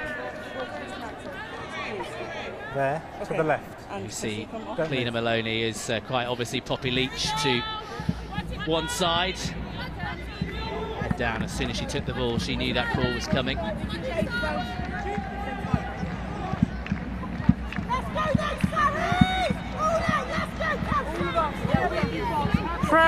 Usual enthusiasm you get with any match from. Marlie Packer. 29-12 ahead, acting like it's nil-nil in the first minute and the first scrum of the match. This one Just the cross on the mark. crabbing to a left and on the cross. Carried back. Cross this time is the decision. Aitchison to Cramer. The greatest defensive line from Saracens initially. No, don't go two. McGovern. A little grub forward. Cries of no, no, no from Susie Appleby from our left-hand side. And there's Aitchison with a step away, then the break. Superb from the England fly half. Steps again, Holly Aitchison. Wriggles out the tackle with the handoff. Now she needs women in black to come support her. Holding on is the call very quickly on the mark there, Harry Walbaugh. Georgia Go. Evans Ten metres, let's go. with some afters. You had a warning in the first half. And the warning in the first half, as Number you've just heard there, coming to fruition. It'll be another 10 forward for Exeter. There's a lovely little line break from Holly Aitchison again, just playing heads up number rugby, six, looking what's in front of her. Big show and go, Yep, ball in back. two hands. Here she's trying to find her support. But it's great work over the ball. Effortlessly glides around the park, On the Holly line. Aitchison. She makes the game look so easy. Time off, number three, sub. years in sevens, used to identifying space, the ability to beat a player. Coming to fruition in the 15s game now as Kelsey Clifford comes off. Alex Ellis on for her. Yeah. Moloney, quite straight the last time. To the back for Johnson. Both on the ball. Good tussle in the air, both getting hands on the ball. Johnson trying to secure it for Exeter. It does pop out and back to them. Okay, yeah. Tackle, release now, release. Place the ball. All a bit of a mess and a scramble and a scrap, but Chiefs have it. Off you come. Yeah, Just over 20 to go. They need a score. They need some momentum as McGovern loops it over. Again, she's trying Yeah, things. line. The Chiefs number 10. Okay. She wants Line- to try and get line's a team yours, on the foot foot. A little grubber a few minutes ago, the looping pass. She's trying to spot opportunities, but the execution at the moment, not quite there. Yeah, it's just frustrating, isn't it? Trying to force things, trying to make things happen. But often when you move away from your, your processes, what they're really good at, good dominant carries, playing on fast foot, front Last couple field, have just come across the which is what creates them opportunities square on the edges there. Fully forward. You can see what she's trying to do there. Leanne Infante gets up in that passing channel. Good cover defence in the backfield as well. Crouch. Bind. New member of the Sarries front row, Canadian Alex Ellis into the frame. Immediate free kick given. Oh, what a relief that would be from a Chiefs point of view. And Robinson takes matters into her own hands, keen to get on with proceedings. No tackle, play on. No tackle. Now tackle, off you come.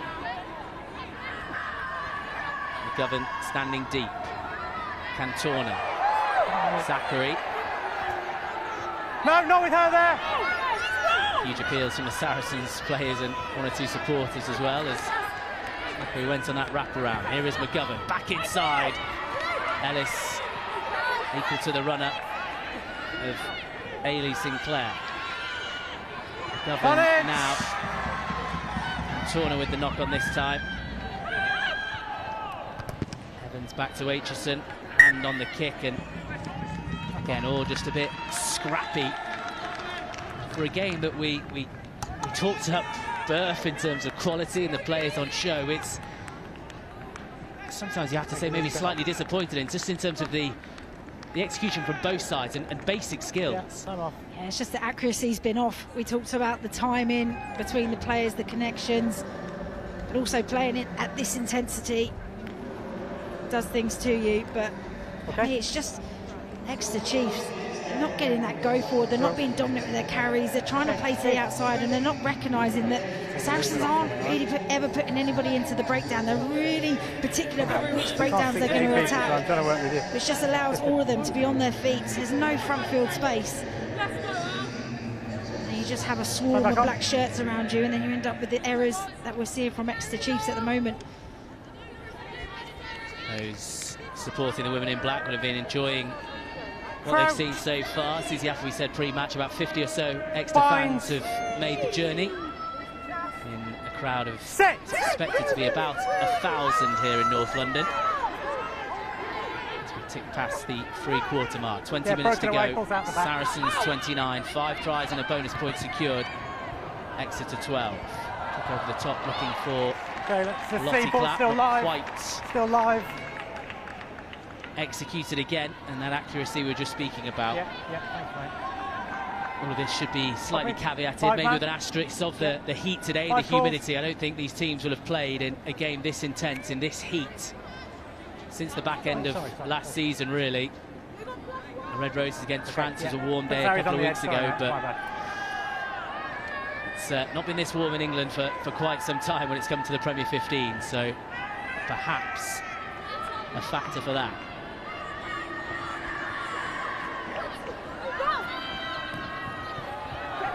What have the Chiefs got in response? They are going to have to make moves now. They've rarely been in to the Saracens 22. Okay, tackle is off. again, Infante this time. Off two, you've lost, kid. McGovern, short to Saku, looks to try and pirouette herself through the tackles, but Don't go in, don't go in. Saracens not buying that. Hooked on from Tuttosi. Canadian hooker with uh, Hope Rogers, both part of the World Rugby Team of the Year after their performances at the World Cup. There is a lot of quality Okay, tackle five off. within this side. Back At the moment, Exeter on course for second defeat of the campaign. Carry back. Aitchison looks for the touchline. What a brilliant kick. Well, there's one kick in the first half, not quite on range, and maybe she was just kind of settling to life back into the Saracen system, but the opening stages this second half, she's been brilliant. Breaks, passes, offloads, and a kicking Time game number as well. one, white, sub, please. Looking so comfortable in the number 10 shirt now. Sarri's line's And what's so good about her kicking game is that she won't ever force the kick. If it's not on, she's not prepared, she's not in the right position, okay. she won't force it. She'll just set it up, get her pods working, and then get herself a better angle. Daleaka Menin off for Exeter. Fresh legs trying to come on. I wonder the thoughts of uh, Zoe Harrison watching her club mate bossing the number 10 shirt at both Saracens and Red Roses level. Very good friends they are, and there was a 10-12 combination between them both that worked pretty well. But, uh, rather than number 10, let's talk about this extra more because that was brilliant as Buchanan steps away. Wonderful work from the winger. Sleight of foot beating a couple of defenders. But then, all over the ball, Marlie Packer with that traditional celebration. Isolated. The turnover queen when it comes to Saracen strikes again. Great body position, low over the ball. Initial break by Buchanan, but once Marlie Packer gets herself set, real struggle to get her off. His kick, unfortunately, from uh, Saracen's point of view, is not No, back foot, gone back into foot, touch. 12. Went for Back, distance, back. Holly Aitchison. Didn't quite reach the touchline. Back was off. Back foot, good. Robinson, back to Inside. McGovern. Wingers on. Under a bit of pressure, gets some height on that ball. Aitchison right underneath it. Infante into the middle where Clapp was trying to hit the ball at some pace. Evans thought about getting the ball. Instead, it went to McIntosh, but crossing the call as she ran in behind her. Number six, step forward as well. Engage. And this is the kick and the attempted touch finder and Sarri's Buchanan line's there. yours. Sarri's Great on the bit of athleticism to keep the ball in. Yeah, really good work. Knows where the Go ahead, touchline is, knows the, the laws of the Come on. game to be able to keep it in. Important point there because Jeff, time off. that goes out. They're Sorry. under an immense amount of pressure in their own 22. They've really got to try and shift this White momentum, three get some really 10. good go forward. At the moment, send they're not being able to, to dominate the gain line at all, which is just giving all the success and energy back to Saracens. Nick, you happy to restart? Yeah, time on, Changes good. aplenty from both sides. Wyrwas and more on for Saracens. McGilvray and Hanlon on for the Chiefs as straight. Moloney's tricky Off. afternoon Come. throwing in continues, not straight again. It's really Exeter Chiefs. Set piece just has not functioned today. They've had a couple of good line outs for driving walls, but in recent times, relatively really successful in these two departments. Just the disruption from the Saracens pack this afternoon. Crouch. It's just taken all of that dominance away from them. Bind. And that creeps into your confidence as well, especially with the fatigue that's now coming into the game. Far side. Ball gone down from that scrum. Good this side. Okay, you two, same again.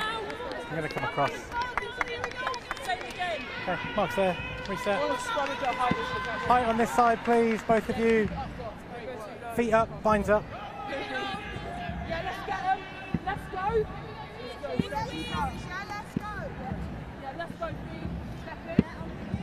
See, all you can hear is the Saracens players on, just gearing each other up. Claudia MacDonald, who's normally Bind. a starter in this Exeter team, is normally that player for them. Just lacking a bit of energy about them at the moment from the Chiefs. Their body language slightly down. Wyrwas to Aitchison. Again, clever from the Saracens, number 10. Difficult for Cramer to deal with. Has a look up, just assesses her Don't options. go forward, White. Aitchison On side now. reads the kick and whips it out to Jess Breach in a bit of space. Side down. Attempted grubber, hits McGilvray.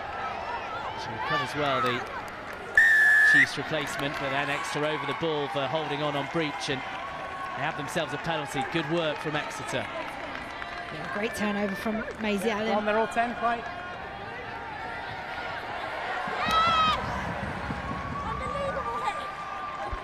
Smart little thinking there, just quick tap, playing away. And they're breaking through again here. Exeter beginning to find some momentum. Robinson looking for options. Thought about the snipe, just brought down. Not out, Now ball's they need not a out. scrum half. Cantorna, McGilvray Numbers here for the Chiefs, out to the far side, Buchanan into the forward pass, but she'll dive in the winger, and they're on the board in the second half the Chiefs. Is that the bit of momentum in the closing stages they need? You just sense there's got something in these final 12 minutes or so. And that quick tap, that quick invention, has got some just rewards. Well, we just spoke about the line out not functioning. Just think maybe a message has come on. Let's just play tempo, keep it high, quick taps, get Saracens on the back foot, later stages of the game. And it's just a quick ball, great clear out. Too many Saracens players stacked around the ruck. Simple hands, lovely here, just gets through the first defender, plays out the back. And Kate Zackary had two options, and Buchanan finds herself in the corner. Referee happy enough with a potential uh, forward pass as Cantorna just strikes across to the right, taking over some kicking duties. So 29 17. Time off, one and two. Is the score. But that just shows how dangerous Exeter can be when they win the, the gain line, they're winning the collisions. Yeah, time's still off though. Getting Saracens on the back foot and then let's go, come stretching them. Bench is really beginning to be unloaded now. Hannah Botterman a try scoring return on her first appearance of the season. And what a try it was as well. We'll have a look at Turn back on. it with our analysis full time. May Campbell's work is done as well. Jodie Retty and Maya Montiel on for those two.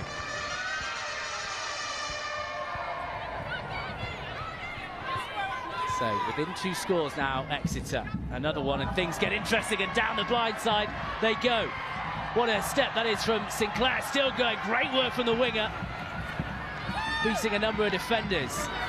Exeter in behind Saracens. The women in black struggling to recover. Those numbers out onto the left-hand side. Quick hands, brilliant hands.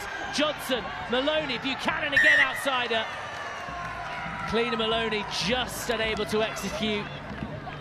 Was looking to draw the player and put the winger in. Oh, you can see what she was trying to do, but you just wonder all the momentum in their favour. Drop your head down, get in between the two defenders coming across. This is a lovely little draw and pass on the outside. Little show and go, like she's going to kick. It just offsets Jess Breach, and then she gets on the outside of two more defenders. Great impact from the bench at the moment. Just injecting some tempo into the game. Bind. Set. These replacements just added a real different feel to the game. The dominance of Saracens, even at scrum time now that we've seen for the first hour or so, looks to have gone. Aitchison, Knock on that's a high one, won't go into touch. Okay, knock on at the base from nine. Scrum. Go back for another Saracen scrum. Knock on at the base there. Knock on. Well, Leanne Infante was, has been under all sorts of pressure at the breakdown and sorry at the scrum, has learnt to deal with it. Wyrwas there just getting introduced to that pressure.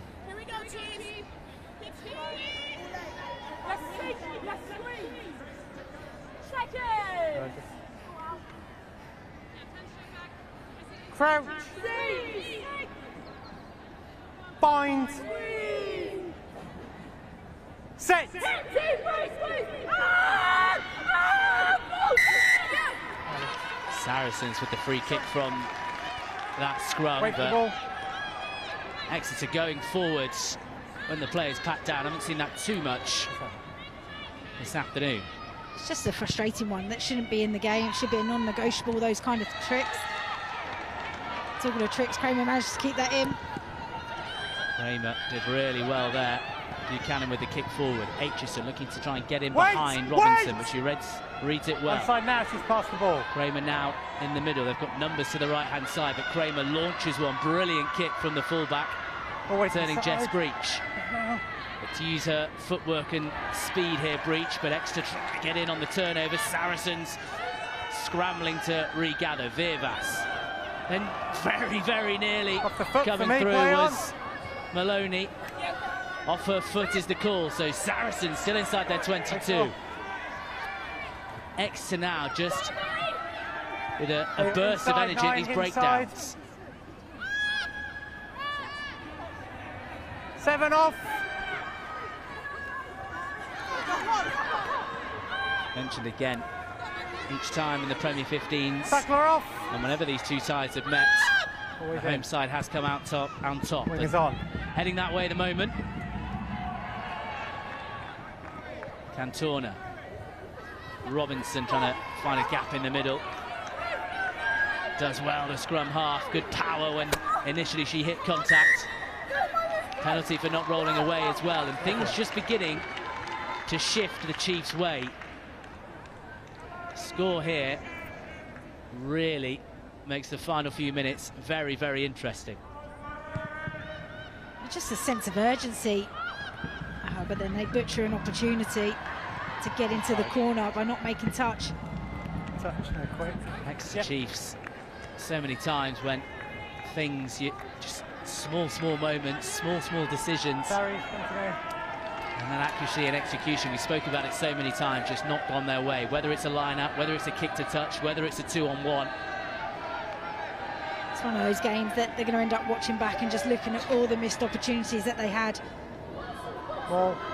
That line out, this time functioning well with Leitch gathering from the low. Throw in. Has the ball in her hand now, the Irish hooker, and this is a good You've lost 18, driving ball from No, Exeter. Saracens trying to come through and more, who's penalised. Advantage on this play. Here is McGilvray under the left arm, the England under 20 international. Short ball looking for the run of Senft. This is better from Exeter. Helping it on is Cramer. Placed back well. Robinson down the blind side. Flo Robinson for the corner. Good tackle. Bringing it down. Advantage to go back. Going to go all the way back for the penalty advantage. Credit the covering Saracens defence then, because Robinson looked like she was in. That was so good, good little spot and Yeah. snipe. Just not allowing Saracens to set, but great cover tackle there from Jess Breach. Knew that she had to wrap her up and get use the touchline as her friend. Yeah, I've got five minutes, just under. Just under five minutes, the referee's clock. We're uh, just a bit behind. Just a reminder, we're not tied up to the referee's clock in the Premier 15s. Try and be as accurate as uh, we possibly can.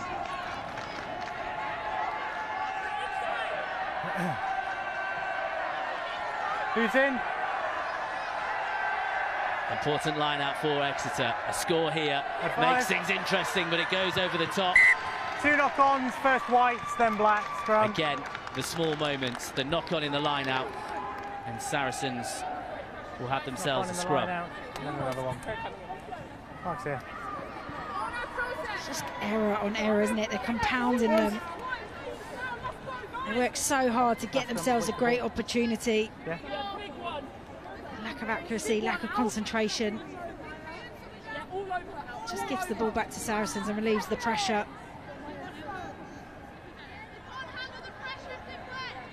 Plenty of head in hands moments throughout this game for Exeter. Chief. Set!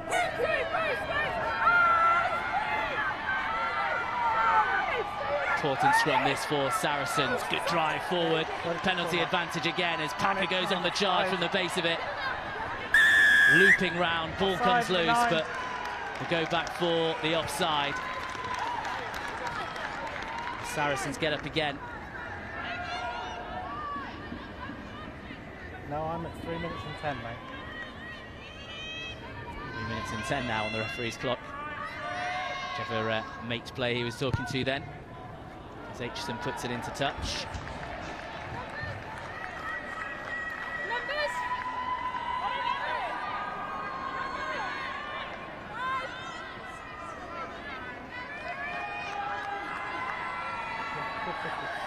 A couple of minutes left then here. Time running out for Exeter Chiefs. We'll get the Allianz Premier 15's player of the match with Rachel Burford in just a second after this play.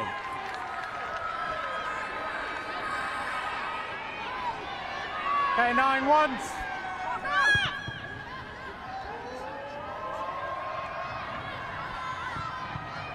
Chiefs, don't go forward. Polly Aitchison now Saracens Wait, will be happy with this kicking exchange, this kicking now. tennis.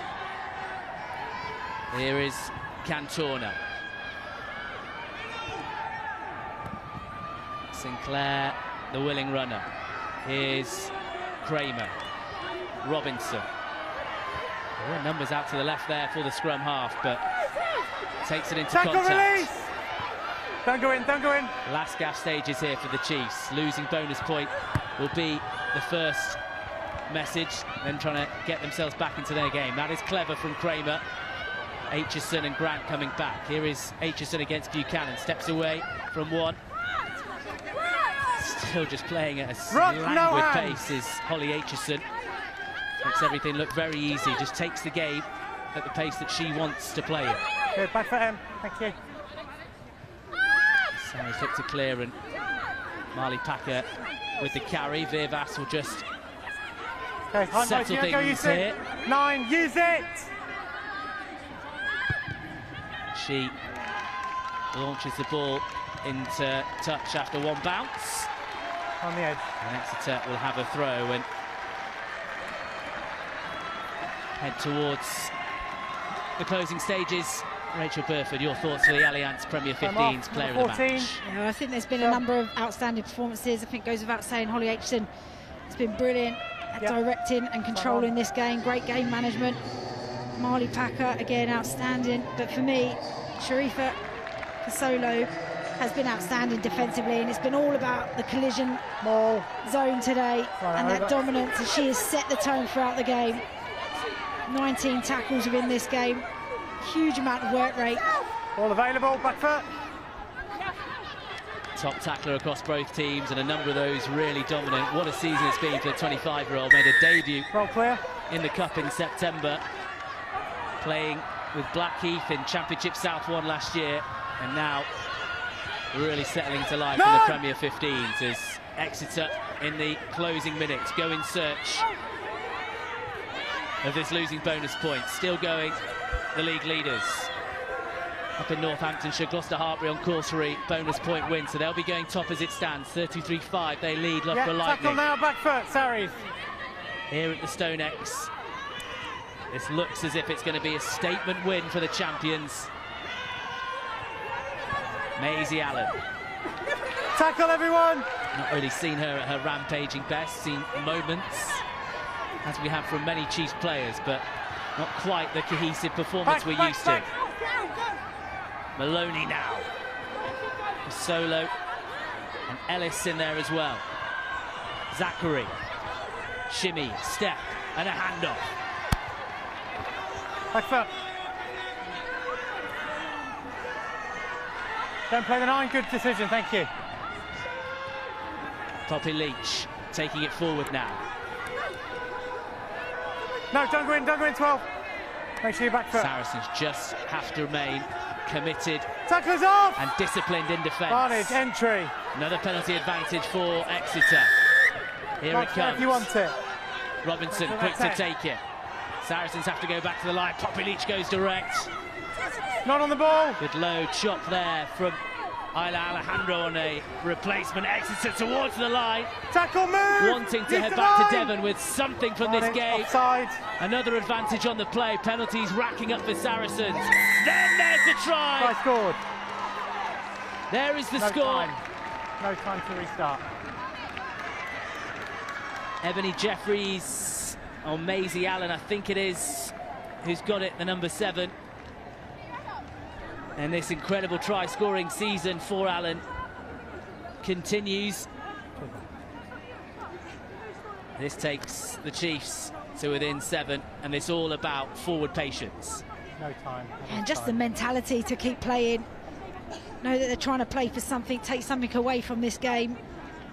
Really come alive in moments in this second half, but not the complete performance from them.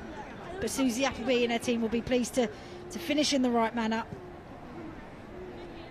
On the flip side of that, Saracens will be disappointed to let them in. Cantorna with the conversion. Last kick of the game. Just round the outside of the post, but they're within seven. A fourth try, of course, means a try bonus and a losing bonus point for the league leaders. So Exeter Chiefs take a couple of points away from the StoneX, but this is a big, big win for Saracens. 29 22 here. Exeter's winning run in the Premier 15s is over. 13 bonus points wins in a row coming into this one. Saracens now extend their bonus point streak to nine in a row. And some some performance from Alex Austerberry's side. Three tries in the first half. Hannah Botterman, Lottie Clapp and Coreen Grant. May Campbell and Sarah McKenna in the second half. A couple of rallying tries towards the end from the Chiefs. Zackary Menin, Buchanan and Allen. But you have to say, a deserved win overall over that 80 minutes. Yeah, absolutely. I think the difference between the two teams today, Saracens took every single opportunity that they created from themselves. Exeter Chiefs just compounding errors on errors, worked so hard to get themselves into a great attacking opportunity, but couldn't find the execution today. Slightly off the mark a number of times, but knowing what this side is all about, they'll go away, they'll work on those small errors from in the game. They tighten up on a couple of those things, and they're in for a real contest. And to still draw it back at the end there, 22-29, shows good signs about this side. But champion Saracens just being relentless and ruthless throughout the 80 minutes. Never took their eye off the ball throughout the game. Really strong game management. Some excellent individuals. The likes of a Hannah Botterman back into the side just bolsters them. We'll get some reaction from Saracens and a word with the Premier 15's player of the match, Sharifa Kasolo.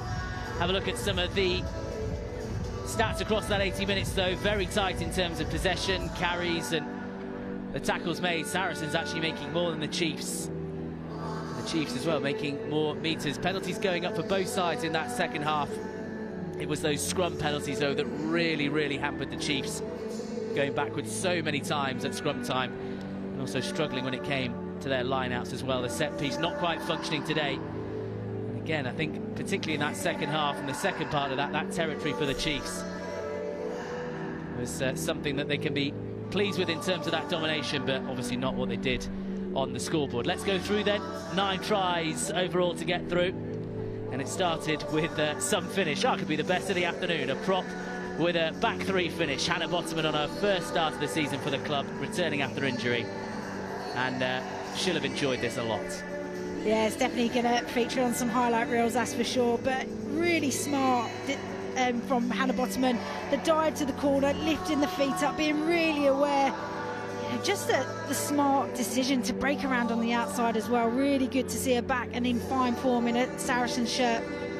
And this one a bit more from deep from Saracens. Co-captain Lottie Clapp, the finisher, but Holly Aitchison, the creator. So many times you see us with a ball in hand, carrying in two hands, scanning, assessing, then half breaking the line. What an offload and what a line.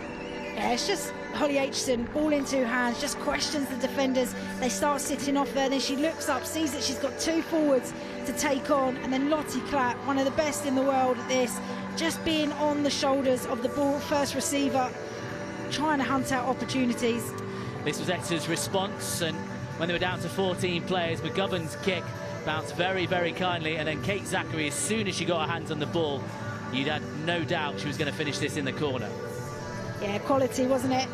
Just recognised that the defence came up really high, so a little bit of space in the backfield. And we've seen Kate Zackary score those across the league this year. There's no way that she was going to be able to be stopped from there. Coreen Grant responded for Saracens. And it's just some clever build-up work, setting up the play from Jess Breach in particular. The step, the gas, and then the soft hands to offload.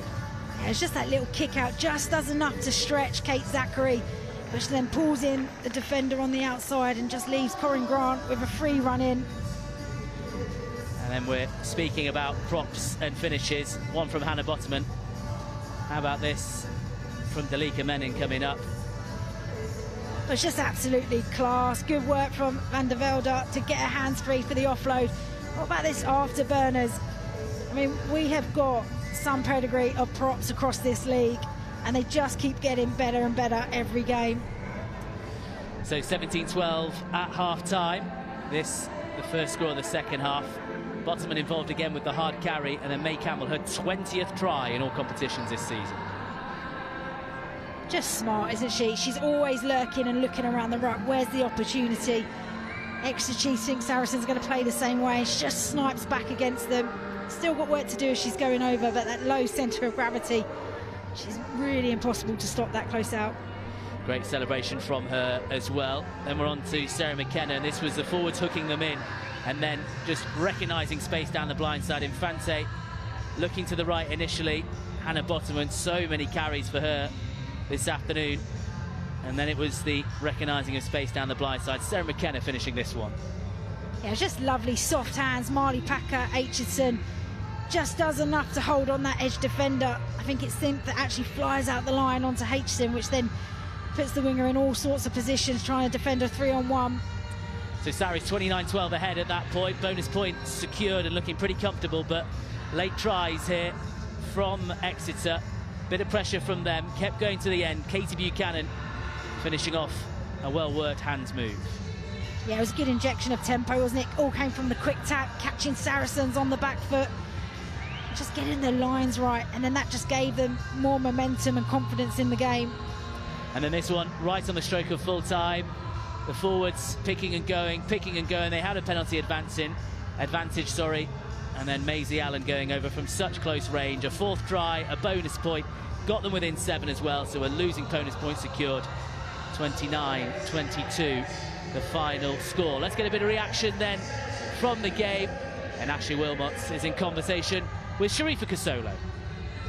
Thanks, Nathan. Yes, I'm here with Sharifa. Sharifa, you must be really pleased with that result. How do you feel? I'm, I'm over the moon. I'm, I'm elated. Like, it was a battle. We knew it was going to be hard, but I'm just ha so happy for everyone that we, we came on top and that that's what we set out to do today. I mean, I know you were part of the team who featured in that cup final. You, you know what it's like to play Exeter Chiefs. Yeah. And, and you knew they were going to come out fighting today. Uh, absolutely. Like, I'll give credit to Exeter. They're not messing about, but we, we knew what to expect, and I just think we, we were more clinical. When we came out on top. And a lot of uh, different things to consider today, especially the weather. It was hot. You were just saying to me, we were all given some cold towels at half time. What was actually said at half time? Um, half time was just about, you know, we were in a good position, but we just needed to keep on top of ourselves and just keep raising the standard, keep raising the inten intensity. You know, the Exeter really good at capitalising on, you know, areas where we may knock off for a second and coming back into it, we were like, we can't give them that opportunity again. And I think that's where we, we were able to step up, just being more clinical. You played such a huge part in today's game, especially that scrum. It was so important to capitalise on those opportunities. Yeah, yeah, definitely. Like, I, I obviously, you know, the front row, the second row is like they are the bodywork. But yeah, me as a flanker, I just want to like do my bit to be loud in the scrum, call the ball in, and just yeah support the team. Now you go again next week against Worcester Warriors. How are you going to be able to, you know, prepare ahead of um, that one? Yeah, I think same again. You know, Worcester it's away, so it's it's just being able to keep to our standards, making sure that we're ready for those away games, and and yeah, just bringing it to them. Well, congratulations, because I know this is your first player of the match uh, in this league, so congratulations and uh, all the best. Yeah, thank you so much.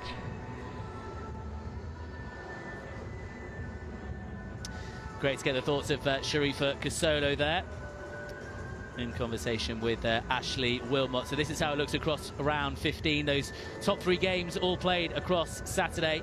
The bonus point wins for Harlequins, Worcester and Bristol Bears. Here this afternoon, the bonus point win for Saracens. But a couple of points to take back to Devon for the Chiefs. The Loughborough Lightning against Gloucester Hartpury game, 33-5 that is, but there's still 20 or so minutes. It's actually 33-12 in that game now. Another score from Loughborough. If you want to watch that one. And the closing stages available on Premier15s.com.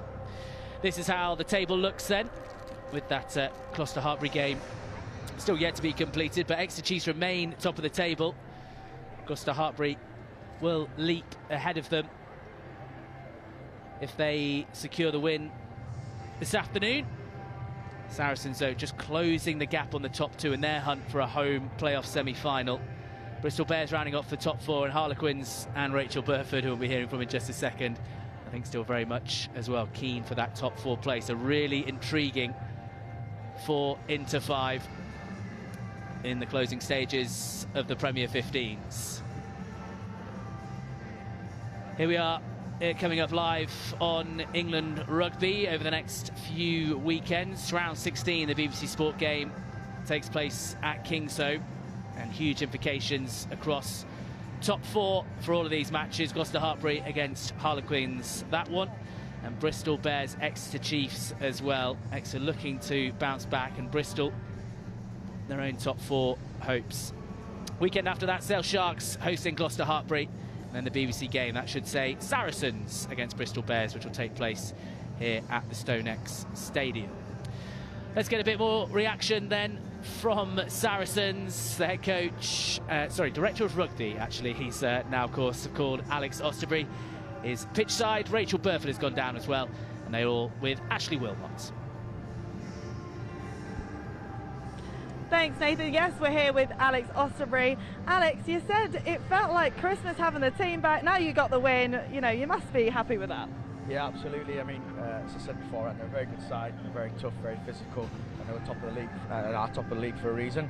Uh, but to you know, to break them down in the ways that we did, stay in the fight for the vast majority of it, and get you know a bonus point win, absolutely fantastic. I mean, they didn't make it easy for you, did they? But you were able to capitalise on your opportunities, unlike Exeter Chiefs. Yeah, uh, in all honesty, I thought a couple of scores in the first half were very opportunistic. I thought they were, you know, bouncing the ballers, knocking off, gave them it, and then in the second half, you know, they really fought and worked hard for the points. But yeah, I think it's his first game back as a group, so it wasn't going to be perfect. But the fight that we showed of putting ourselves in the in the positions to try and make the most of it was good. I think there's a lot of learnings that have come out from it, but you know, ultimately five points at home, we've got to be pretty happy. You know, Alex just touched on it there, Rachel. It is hard to come back after you've been away from uh, for international duty to come back into the fold, and it was a big game and a big test for both teams. Yeah, it's a big test to come straight back into when you probably had really limited amount of time for preparation together. You want to manage those players who are coming back off a really big campaign. But you know, I think both teams struggled early on, but I feel like Saracens really started to settle into the second 20 of the first half, really started to find their feet, good communication, good connections, and you could start to see that really come out in the second half as well. And it must feel good, Alex, because Exeter Chiefs haven't lost a game since the first round of the Premier 15s, and now, you know, you've just got the win over them and, and stopped them in their tracks. Yeah, to be honest, I don't really mind who we get wins against as long as we get them. Yeah, you know, uh, it, as I said to, to the players and we talked about it before before the game, it's a, it's a big game and, and they're the ones that want to be involved in, you know, and to come out with a win's brilliant. But as I said, I don't, I don't really mind if we get five points against as long as as long as we keep getting them. And like you said, you must be really pleased because there was a couple of sticking points. that came back into it, five points in it at one time. Like, how pleased are you about the players who have managed manage those moments and be able to then turn it around, change the momentum? Yeah, I think you know that score before half team was at half time was a bit of a kick in the teeth, and then to come back and respond with two tries pretty quickly was a real testament to our, our character and, and, and the players being focused. I think there's learnings around that last 10 15 minutes of managing that. I thought we, we invited a lot of pressure and you know some silly penalties, some poor execution, and, and didn't really move through the thirds very well. But you know the real important bit after half time, we, we got that pretty. I wouldn't say spot on, but we did pretty well there, um, and that you know that gave us that buffer to ride out that storm at the end. Now, just a quick word on our player of the match, Sharifa Kasolo. I mean, it's her first uh, season in the Premier League, uh, league, and also her first player of the match. So she must, that must be really, you must be really pleased with her. yeah, absolutely. Yeah. I mean, I, I saw Shaz play last year, and I was like, crikey, there's a, there's a very good player in there, lots of potential, unbelievable, powerful. Like she keeps hitting, uh, but loves ball in hand offload. So she's she's really exciting, and I think we're only scratching the surface what she can do. She was actually our player for the cup campaign, so mm. she's had some player of, the, of campaigns. Just this is the first one for the match, um, and you know it doesn't it doesn't surprise me. Like we've got a really talented back row, and she's she's not out of place in there, and that just shows the the quality that she's got. And honestly, like it's really exciting where she can get to because you know, it's, it's one year being the, at this level of rugby, and I think you know the next couple of years uh, it'll be really exciting. And she's got some pretty decent sevens to learn off as well. Yes, a very exciting time, definitely. And you go up against Worcester Warriors next. You know, what can we expect from your side on that one?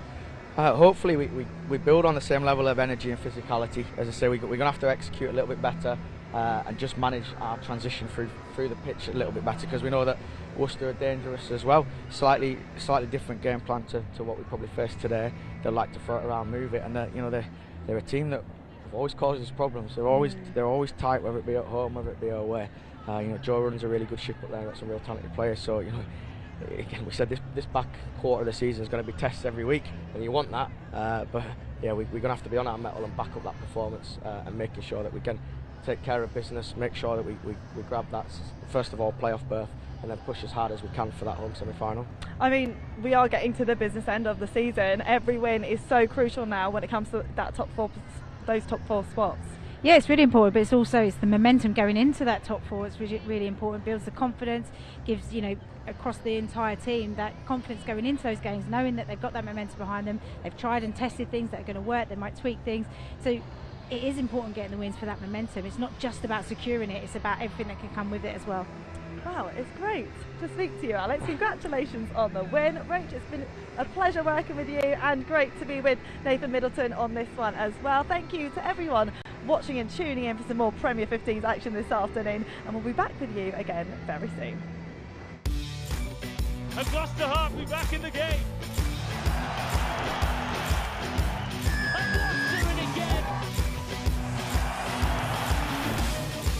Queens have a third try. It's chance here for Bristol Bears. Excellent Chiefs.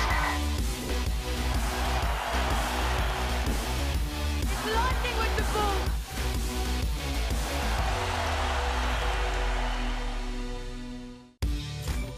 And Gloucester Heart will back in the game.